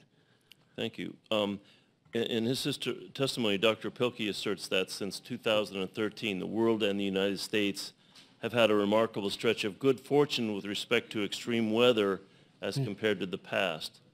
Would you respond to that, please? Yeah, so Roger is, you know, pointing to uh, outdated uh, reports, outdated data. Um, three years ago, uh, he actually posted the following on his blog. He said, I am no longer conducting research or academic writing related to climate. I am not available for talks. And on the climate issue, I have no interest in speaking with reporters or giving testimony before Congress. Um, that's what he said back in 2015. Well, that's, you know, three years ago. Uh, there has been a lot of progress over the past three years. We just published an article in the journal Scientific Reports a few days ago that reaffirms what scientists are now finding. There are teams of scientists now team, whole teams of scientists, when there's an extreme weather event, they can use what's uh, known as detection and attribution. They can actually compare models and observations and estimate how much more likely that event might have been made by human-caused climate change. And in many of the extreme droughts and flooding events that we've seen in recent years, those groups have positively attributed those events. They've said that those events were sufficiently unlikely to have happened without human-caused global warming that we can say at a relatively high level of, of certainty that climate change did impact that event. Not that it created the event, it made it worse, it made it bigger. Thank you, Mr. Chairman. Uh, Thank you, Mr. McNerney. Uh, The gentleman from Texas, Mr. Weber, is recognized.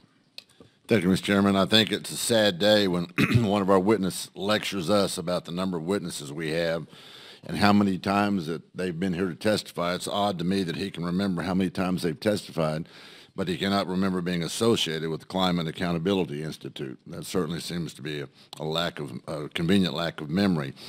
So, having said that, I want to go ahead and get to my questions.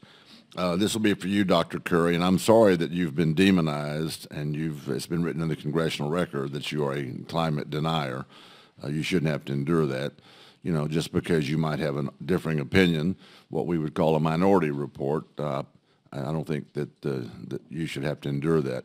I also remember, by the way, that uh, if, if I remember correctly, Mark Twain said that sometimes a majority means all the fools are on one side. So uh, there is that. Dr. Curry, would you characterize any of the climate policies discussed in the United States, such as major industrial CO2 restrictions, as flexible and adaptive?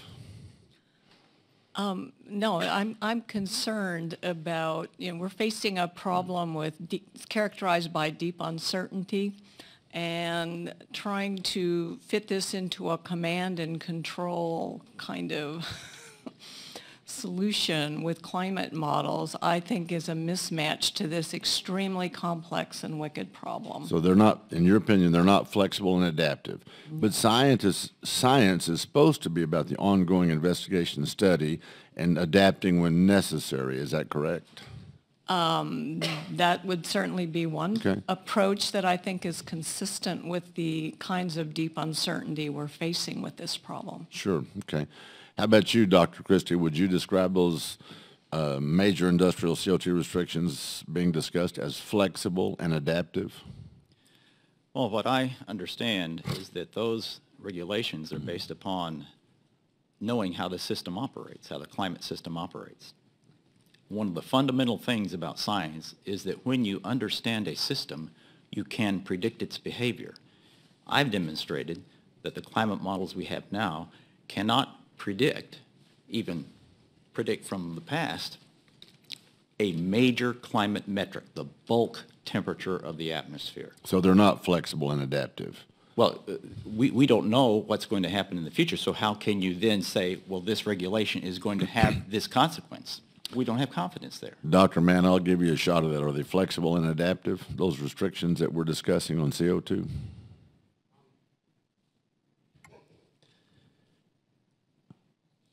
I'm not sure why you're asking me that question. Um, uh, obviously, But because you're a learned scientist and you're here to participate in the discussion. Yeah, that's a matter of policy that you're asking about. And um, I have tried to be quite clear in, in my view that there is a, a worthy debate to be had about what policies we invoke to deal So with now it's problem. worthy and it's not, it's not climate deniers. You, you. No, uh, you've misunderstood what I'm saying. There's a worthy debate to be had about the solutions to this problem. There is no longer a worthy debate to be had about whether the problem exists. That is your opinion. It's the opinion of the overwhelming community of scientists around the world. And yet the EPA won't release that data. I'm going to move on to you, Doctor. Is it Pielke? Is that how you say that? Yes.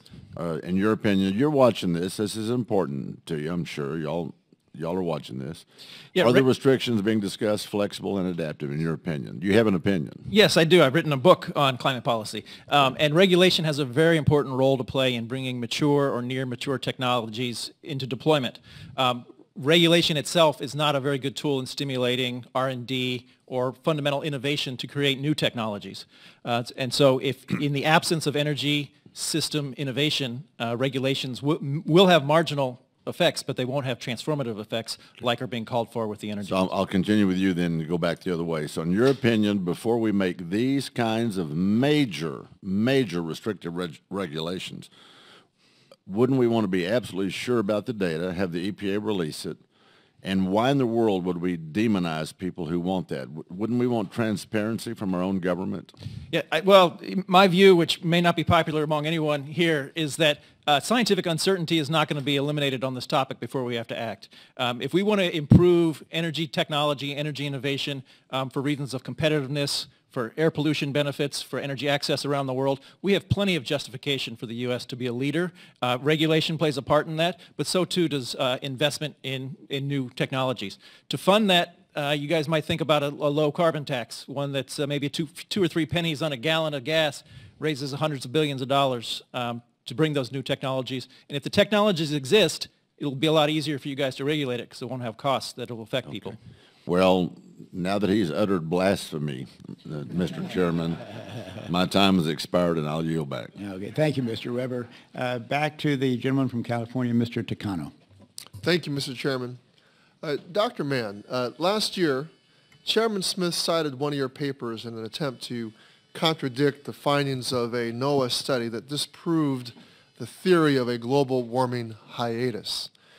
In questioning then Administrator Kathy Sullivan, he asked, quote, do you still stand by the Karl study's conclusions, or do you now recognize that these conclusions might have been weak and agree with the nature scientist, end quote. Well, Dr. Mann, you are one of those nature scientists, correct? That's absolutely correct. By nature, I mean the Nature magazine. Uh, how do you respond? Yeah, well, I find it unfortunate that our work was misrepresented in that way. Um, our, our, work in no way uh, challenged the uh, integrity of Tom Karl's work. Uh, I have the utmost respect for Car Tom Karl as a scientist and as a human being, um, and he has the, the, the utmost integrity um, as a scientist. Uh, our paper expressed an honest scientific difference of opinion. Yes, that's what scientists do. We, we, we fight over interpretations and details. Um, precisely the, the sort of uh, challenges, again, that the um, critics like to pretend doesn't take place. And in this case, uh, it was a good faith uh, disagreement over how to characterize a long-term warming trend. We weren't disagreeing about whether there's a long-term human-caused warming trend. We were simply contesting the interpretation, is it sort of a step-like trend, like that? Or is it a more wavy trend like that? And what we weren't disagreeing about was that there's a long-term trend and that it's caused by increasing greenhouse gas concentrations. Finally, let me say that other independent scientists, including scientists I'll say it again, funded by the Koch brothers, um, have come up with precisely the same result that Tom Karl came up with. And they said that they were able to download online all of the required raw data that was necessary to reproduce his findings. So the claim that he hadn't archived and, and provided the data necessary for other scientists is just false. It, well, in fact, here I have um, a letter, actually two letters, signed by all 11 of those nature scientists, including one from my own home, my own home state of California, rejecting the chairman's interpretation of their work. I would like to uh, have these letters included into the record. Uh, without objection. Uh, uh Dr. Mann, I, it, I think it's important to take a moment and address those who suggest that those of us who believe and know that climate change is occurring are somehow asking others simply to trust us. Um, science is not about trust or belief. It is the pursuit of knowledge and understanding.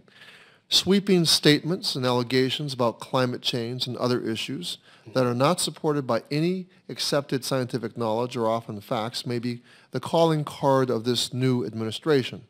But it is imperative that we not let such irrational rhetoric distract people from understanding how science works. The American people know that our climate is changing and they understand that we need policies to protect our health and environment. Well, Dr. Mann, is this distinction between trust and understanding important? Uh, it, it, absolutely is. Um, and, you know, when it comes to trust, um, I trust the, the U.S. National Academy of Sciences, which I might add was founded by a Republican president, Abraham Lincoln, in the 19th century, to inform Congress about matters of policy relevant science.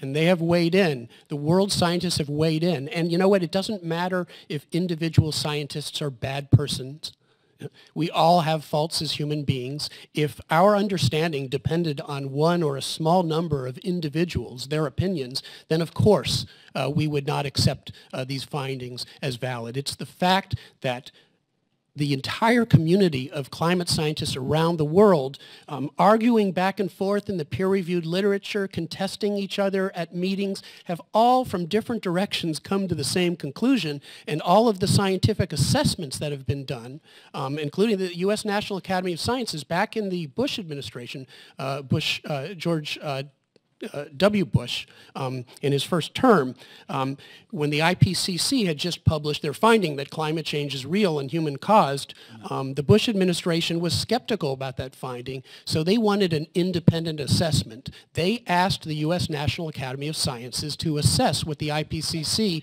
had said. The U.S. National Academy of Science, after uh, independently reviewing the literature um, and soliciting independent reviewers with a variety of perspectives, came back and said, well, you know, the IPCC, what they said was basically right. Um, that's, those are the facts, um, and we can't dispute the facts. And it doesn't matter, uh, you know, the individual personalities of scientists, each of whom are human beings and, and have their own personal flaws. If that mattered, it would be a problem. The scientific process works because that doesn't matter. Regardless of how good or bad a person you are, your claims will be independently tested by So other it's- scientists. It's reproducibility, time- Absolutely. the gentleman's reproducibility, time has repro- re- reproduction, and corroboration by peers. Absolutely. Thank you. Uh, Thank you, Mr. Takano. Uh, Before recognizing the gentleman from Florida, Mr. Webster, without objection, I'll put into the record an op-ed from the Wall Street Journal called Keeping Cool About Hot Temperatures, which points out that even though it is claimed that 2016 was the hottest year on record, and 2015 the hottest year on record before that, 2014 the hottest year before that, and all three instances, the temperatures were, were within the margin of error, uh, and that in fact in 2014 NASA admitted that they were only 38% confident of that temperature. That's less than half. The gentleman from Florida, Mr. Webster, is recognized. Thank you, Mr. Chair, and uh, thank you for holding this hearing. It's been very uh, informative. Um, Dr. Curry, I'll ask you. You were a professor at my alma mater, so I did talk to Dr. Peterson here on Monday about some things, so not about climate change. But anyway, I'd like to ask you, what caused the ice age? Well, the ice, uh, I mean, the, the big ice ages, the Yeah. very big ice ages, well, it has to do with I know you weren't there, but orbital, yeah.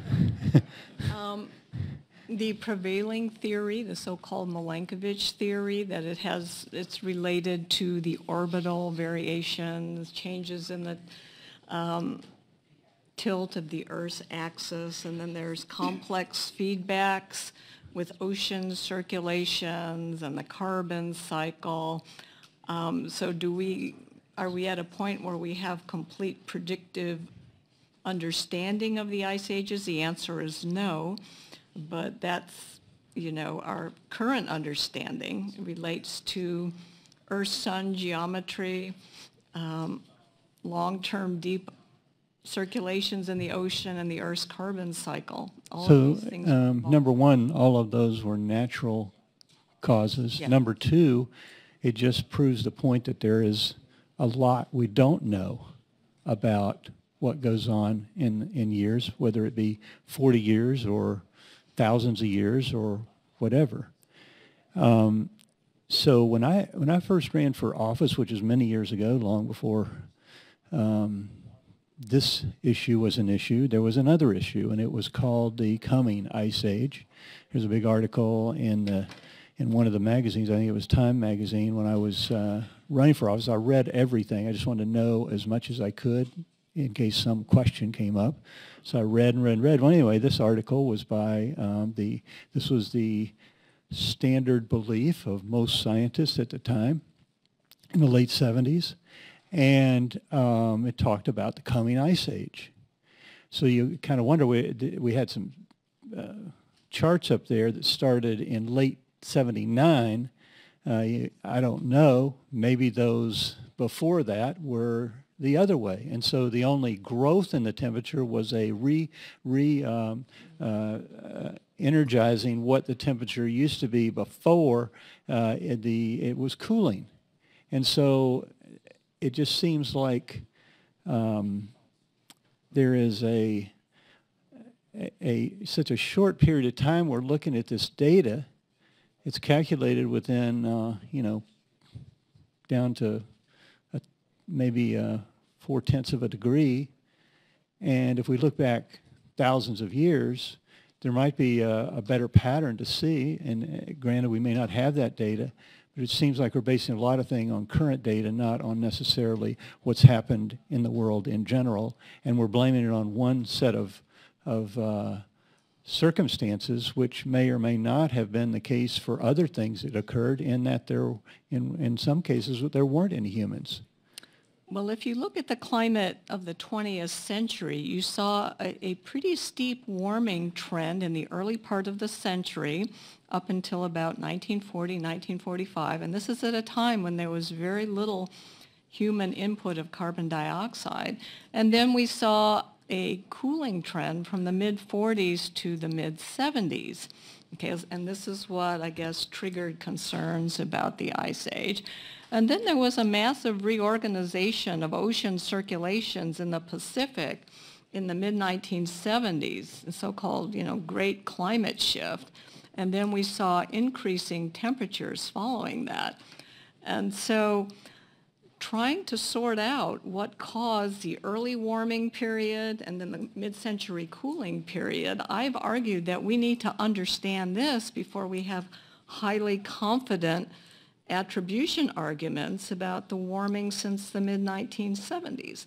So there's a lot of natural variability, uh, largely associated with um, the multi-decadal and longer ocean oscillations that are not well represented in the climate models. And this is why I've argued for fundamental climate dynamics research to try to better understand this.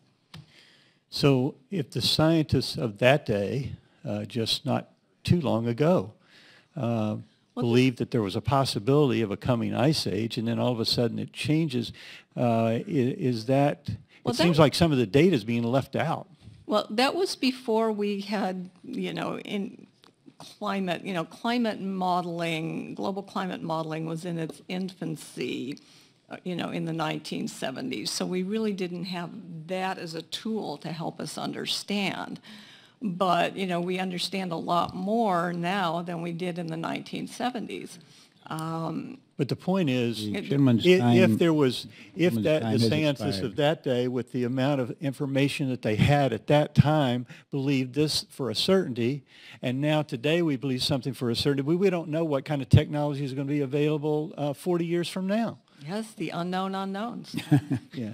So all I can say is it seems to me like the more I hear, the more I believe that there, there, this is a, an ebb and flow, not necessarily a constant among even those, uh, if they are the majority of scientists, it's going back and forth, not necessarily um, uh, staying as a stagnant. Okay. Yes. Thank okay. you. I yield back. Thank you, Mr. Webster. The gentleman from Virginia, Mr. Beyer, is recognized. Yeah, th thank you, Mr. Chairman, very much. I'd like to begin just by welcoming a constituent who's shadowing me today, Jairo Medrano, who's a history buff and attending George Washington Middle School in Alexandria. So, Jairo, thank you for being with us. It's, it's a, thank you very much for being to, to testify. It's a, uh, I have this great sense of, of a food fight among scientists, and I guess each one of you in different ways has talked about what Dr. Curry called was gutter politics. And I, I apologize for that. And I was trying to think, why can't we all just get along and realize it's because the stakes are so high. You know, that uh, if the vast majority of scientists are correct about the human impact on global warming, you have 55 million people in Bangladesh that will be displaced, or many countries, including the Maldives, that disappear from the planet. I was just in India with uh, Congressman Esty, and they talked about how climate change there already is dramatically changing agricultural patterns and their ability to feed 1.3 billion people, or the demonstrated increase CDC in lung disease um, and in tropical diseases here in the United States. Or on a more trivial measure, not for them, the outdoor industries are, are in a panic about what it's doing to climbing and skiing and hunting and fishing and many, many other things. So it's, there's a lot at stake, which is why this gets so high. I'd like to ask that the Dr. Christy's third slide be put up just for a moment. Um, and just point out that the average of the 102 climate models is one degree centigrade increase over those 36 years, and the observations are a half a degree.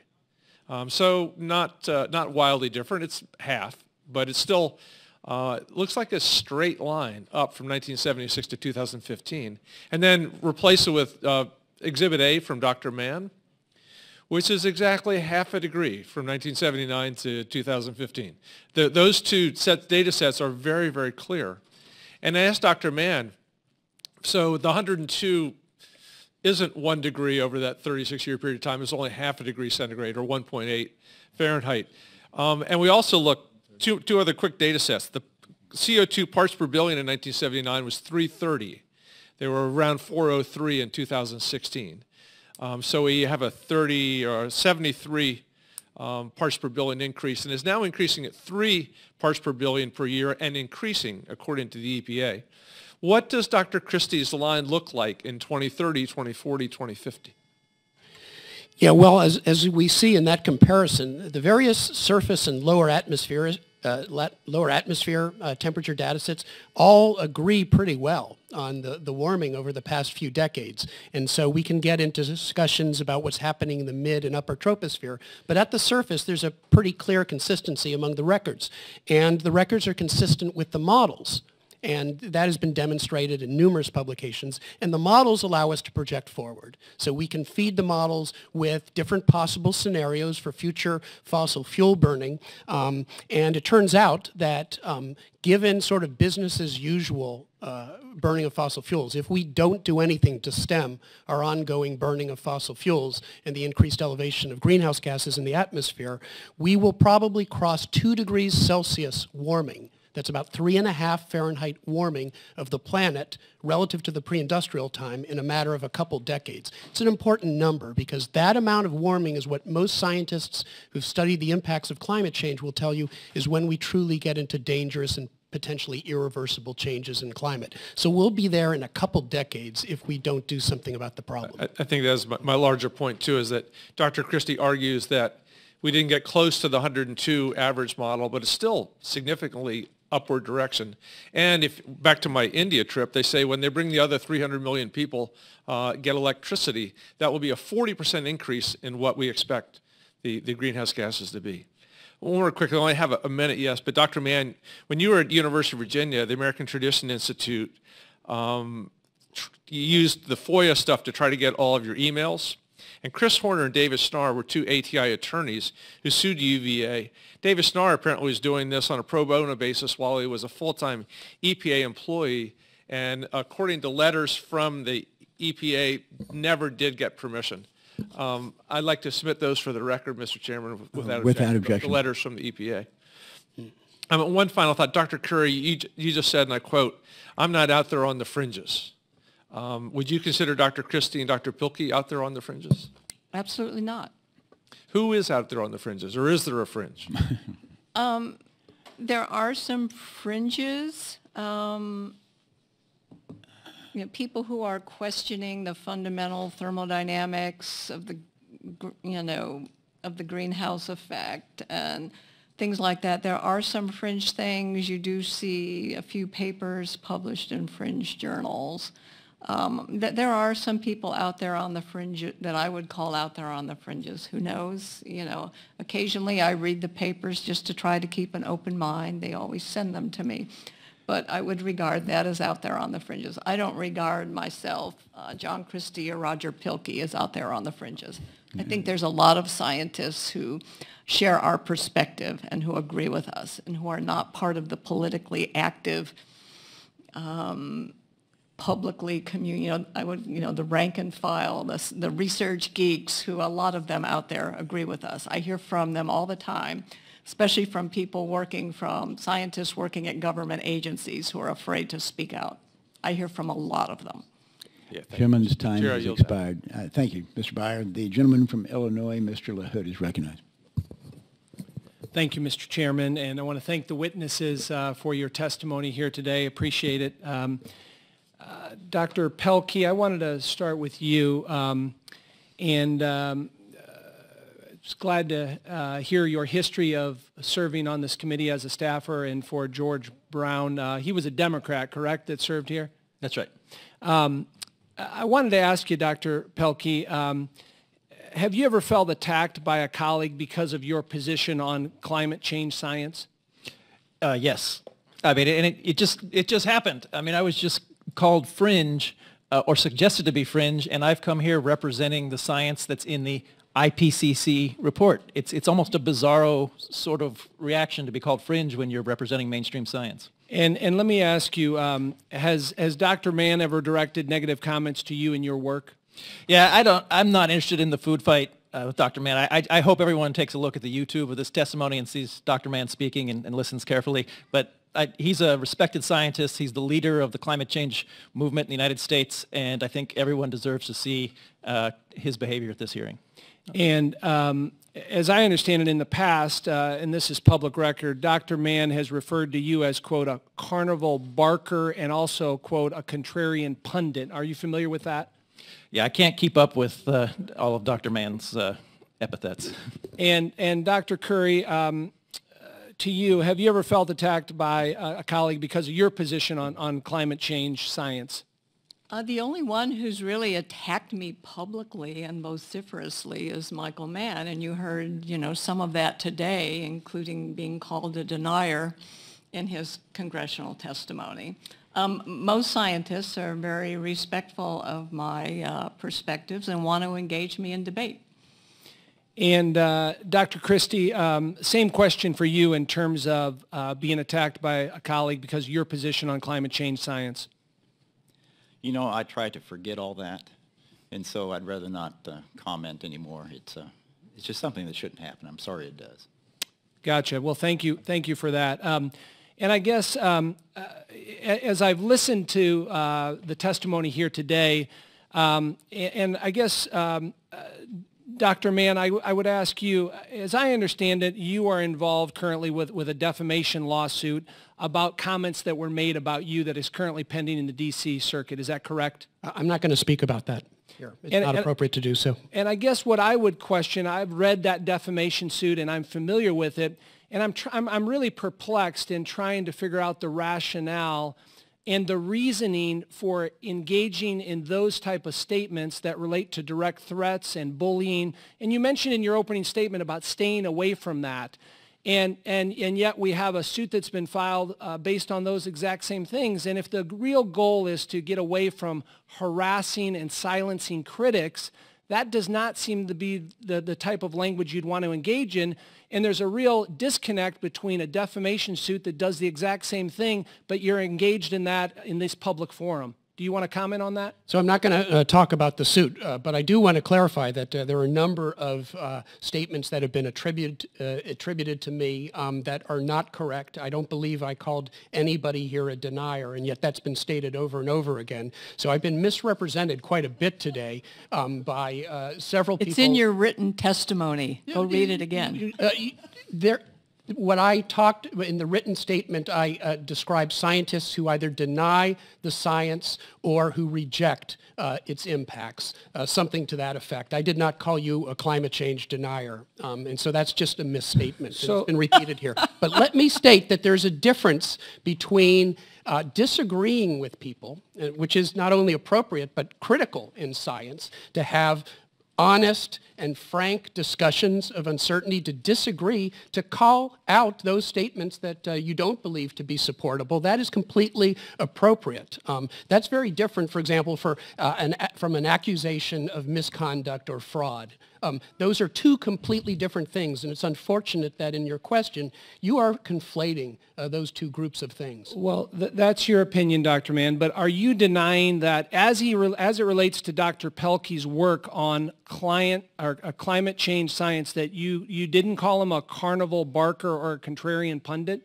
Uh, you would have to provide me the context. I don't remember everything I've ever said or done, but what I can tell you is that Dr. Pielke has made the following statement. This is a well, quote. Me, In the Wall Street Journal, he said, there is scant evidence to indicate that hurricanes, floods, tornadoes, or drought have become more frequent or intense in the U.S. or globally. Um, that is simply not true. The best available science is now attributing individual droughts and floods at a fairly high level of confidence to climate change. So do I challenge him publicly when he says things like that? Of course I do. Is yeah. that appropriate? Appropriate? Of course it is. So are, are, are, again, are you, you denying, uh, let me ask you this, is it fair to say you could have said that and you don't remember that here today? I don't remember everything that I've ever said, and you would have to provide me the context. I'm not sure that your characterization is correct. You would have to show me the context. I- and you haven't done that. I'd be happy to show you that. I guess my, my point is, you seem overly sensitive uh, to criticism as it relates to the defamation suit that engages in the same activity that you're engaged here today with these three witnesses, and I think there's some hypocrisy in that. Thank you.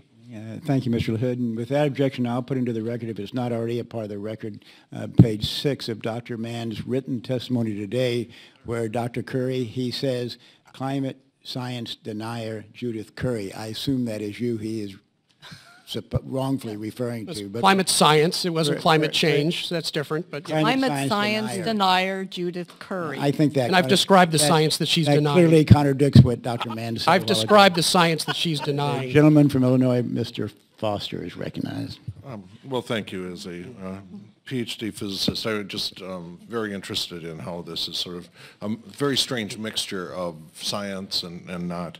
And so maybe I'd actually try to understand what the, the range of agreement is here. Um, do, is there anyone on the panel here that believes, for example, that um, from on the policy side, uh, that the cutbacks in climate science, space-based measurements of, of things like temperature, ice sheet thickness, and so on at NOAA, NASA, EPA, and other places, of the magnitude contemplated in the skinny budget of the Trump administration are in fact a good idea? Is there anyone who believes that those cutbacks are a good idea? Well, uh, you know, as a scientist, we live on observations and data, and that's how we learn and discover things that will help us. So, So there- I'm all for the observing systems being made being robust. well, well-funded, and so there's a, there is a consensus actually that that's not a good idea. Um, let's see, on the, the physics point of view, if we sort of go to the other end, um, yeah, Dr. Curry, you indicate that your criteria for what represented fringe were just rejection of fundamental thermodynamics and, and so on. That, that, does everyone on this panel agree, for example, that, you know, that the temperature of the Earth is set in general terms by radiative balance, and that the infrared absorption spectra of carbon dioxide is a, a very relevant driving term, and that the uncertainty really is in the other positive and negative feedback terms that may or may not be present. Changes in the convection, things, many of which simply redistribute where the excess heat goes when you put carbon dioxide in the atmosphere. Um, the other ones, um, you know, potentially increase or decrease the albedo of the Earth, and things like that, where there is, you know, you can imagine mechanisms that either make things better or worse. Uh, For example, if we melt the, you know, the, the methane release that could come from Siberia, if we, um, if we melt uh, all of the, um, the swamps in Siberia, basically, that they're, they're very possibly a very strong positive as well as negative feedback loops. Is that sort of the range of, of disagreement that we're, we're seeing here? Anyone feel themselves outside of that? Um, And so that, um, and do, is there anyone that feels that that range of uncertainty makes it likely that this is never going to be a problem if we continue business as usual? So you all think, we would agree that it's more likely than not that this will be a big problem on, yes. I would say, that I would say that we don't know. No, no, do you think it is more likely than not that this would be a big problem? I would say as likely as not. All right, uh, Dr. Mann, do you? Well, I just want to say that's what I'm talking about. I, I didn't call uh, Judith Curry a climate change denier here uh, today. I- I- there is a statement in the written uh, statement that uh, she's a science, uh, climate science denier, and this is precisely what I'm talking about. She has argued that uh, we might be responsible for less than 50% of the warming that we have seen.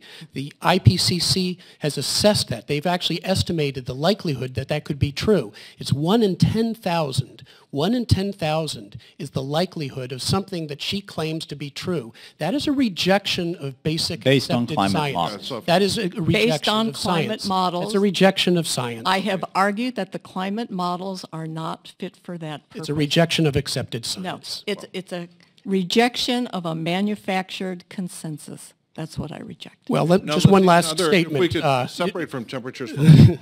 Um, The question of ocean acidification, um, uh, is there an agreement that um, as you raise CO2 levels in the atmosphere, that this will lead to ocean acidification, or is that also sort of thought of as a, margin, a fringe point of view?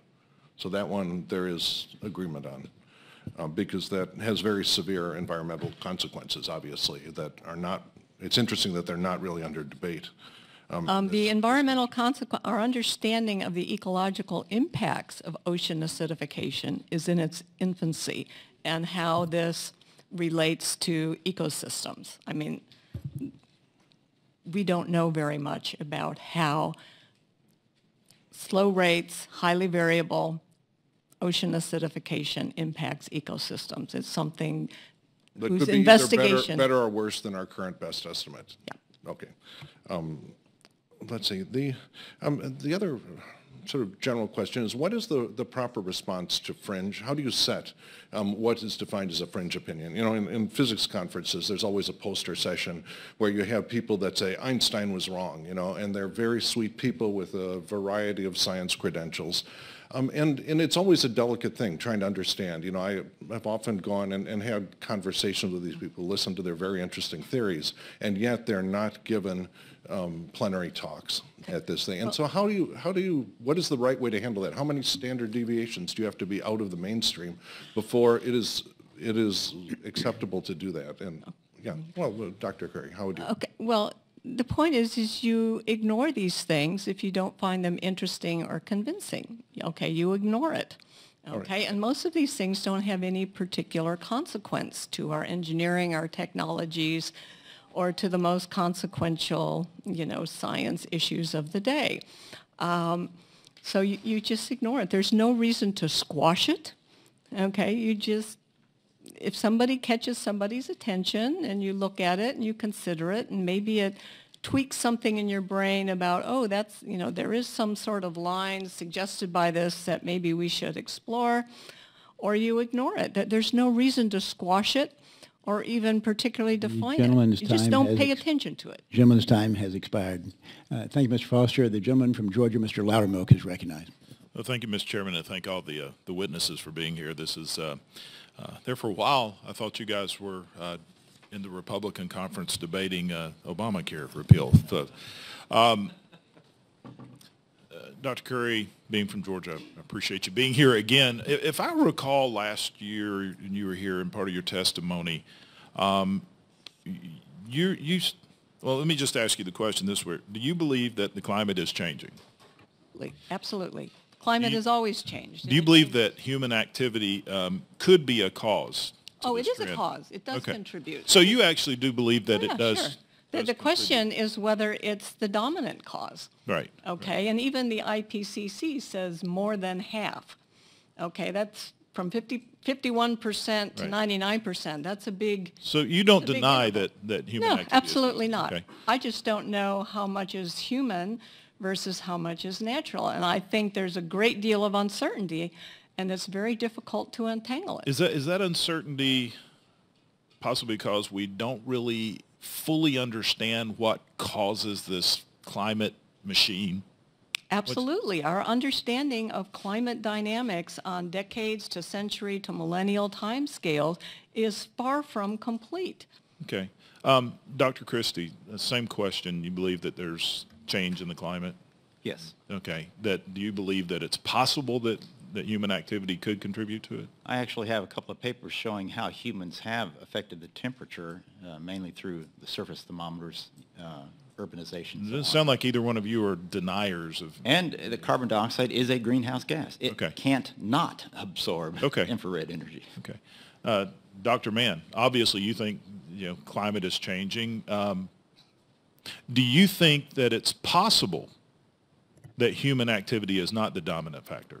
So I already spoke to that. Um, uh, Judith Curry is on record, and we just heard it. No, I'm, so, I'm asking yeah, you. Well, what saying less think? than 50%. It might be less than 50%. The IPCC actually has a very nice I'm, I'm asking, plot. what do you think? I, I, I believe what the IPCC has said about this, that uh, less than uh, the proposition that we are responsible for less than 50% of the warming can be dismissed as a 1 in 10,000 okay, well, what do you think? Are you just, I, I want you to parrot what IPCC I says. accept the world scientist's uh, opinion. So in your opinion, there could not be no chance that human activity does not, is not the major contributor. Well, it's a double negative, but there, there is a possibility we'll wake up tomorrow and gravity no longer exists. Okay, so- Those are possible. Okay, so But they're extremely It doesn't sound like anybody or any amount of data could convince you otherwise at this point. I- I go with the physics. You know, Okay, you, you can go with opinions if you We want. could I say go with you're a denier of natural change. No, I actually, my career in large part was built on my studies of natural variability. The Well- Atlantic multidecadal oscillation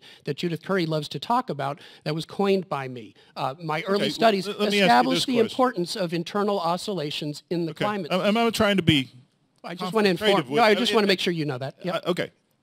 Do you believe that we truly understand what creates the weather? What what is the do we understand the climate machine? So the weather is uh, caused by what we call baroclinic instability. I'd be happy to talk to you I mean, for you, hours you offline about with that. Dr. Curry that that you sound like that we have grasp in science that we know what creates this weather patterns and we know what what creates I'm not sure how to machine. parse that question. We understand at a great level uh, of detail the workings of the atmosphere, um, the, the, uh, the, the workings of the ocean and the ice sheets and the way they interact. Thousands of scientists have been studying these things for decades. Let- let we me ask you this understand the science of climate uh, as well as the science of just about any other field. I don't want to filibuster. I'm running out of time here. So why did we ban I would just like to add that Yes. when we understand other fields of science, we can predict the behavior. Right. I've demonstrated we cannot predict the behavior. Okay, the National Academy of Science agrees with you. At least they did in the 1970s when said we do not have a good quantitative understanding of our climate machine and what determines its course. Without the fundamental understanding, it does not seem possible to predict the climate. Why did we have a ban on sulfuric dioxide in the 1970s, Dr. Mann? Yeah, so uh, you're right that uh, you know 40 more than 40 years ago we didn't have nearly the understanding we have today. In 1975, the National Academy of Sciences actually said they didn't know what was going to win out. They didn't say that uh, global warming uh, isn't caused by increasing greenhouse gases. What they were saying in that report was that we don't know what's going to win out: the warming effect of increasing greenhouse gases or the cooling effect of these particulates So there was that we are differences producing. among the scientific community because, as was mentioned earlier, there was a cooling trend. We, yeah, we Uh, understand very but- well where that came from. The- But the, uh, state, the, the sta- policy yeah. was the result was the reaction of, of lawmakers in banning uh, sulfuric dioxide in response to the cooling trend that a group of scientists said was definitely causing the cooling of the earth. And I just refer back to Dr. Curry. Dr. answer? Yeah. Curry, um, do uh, does this show evidence of that we really don't have a a full grasp of what causes the climate change? That- are- and I think what your thing is, we may overreact in public policy that could actually have a diminishing factor in. The gentleman's time has expired. Uh, do you want to answer very quickly, Dr. Curry? No, that, that's okay. Okay. Uh, thank you all for your testimony today. This has obviously been enlightening, uh, sometimes a little uh, contentious, but nevertheless informative to all of us who are up here. Uh, appreciate your attendance, and we stand adjourned.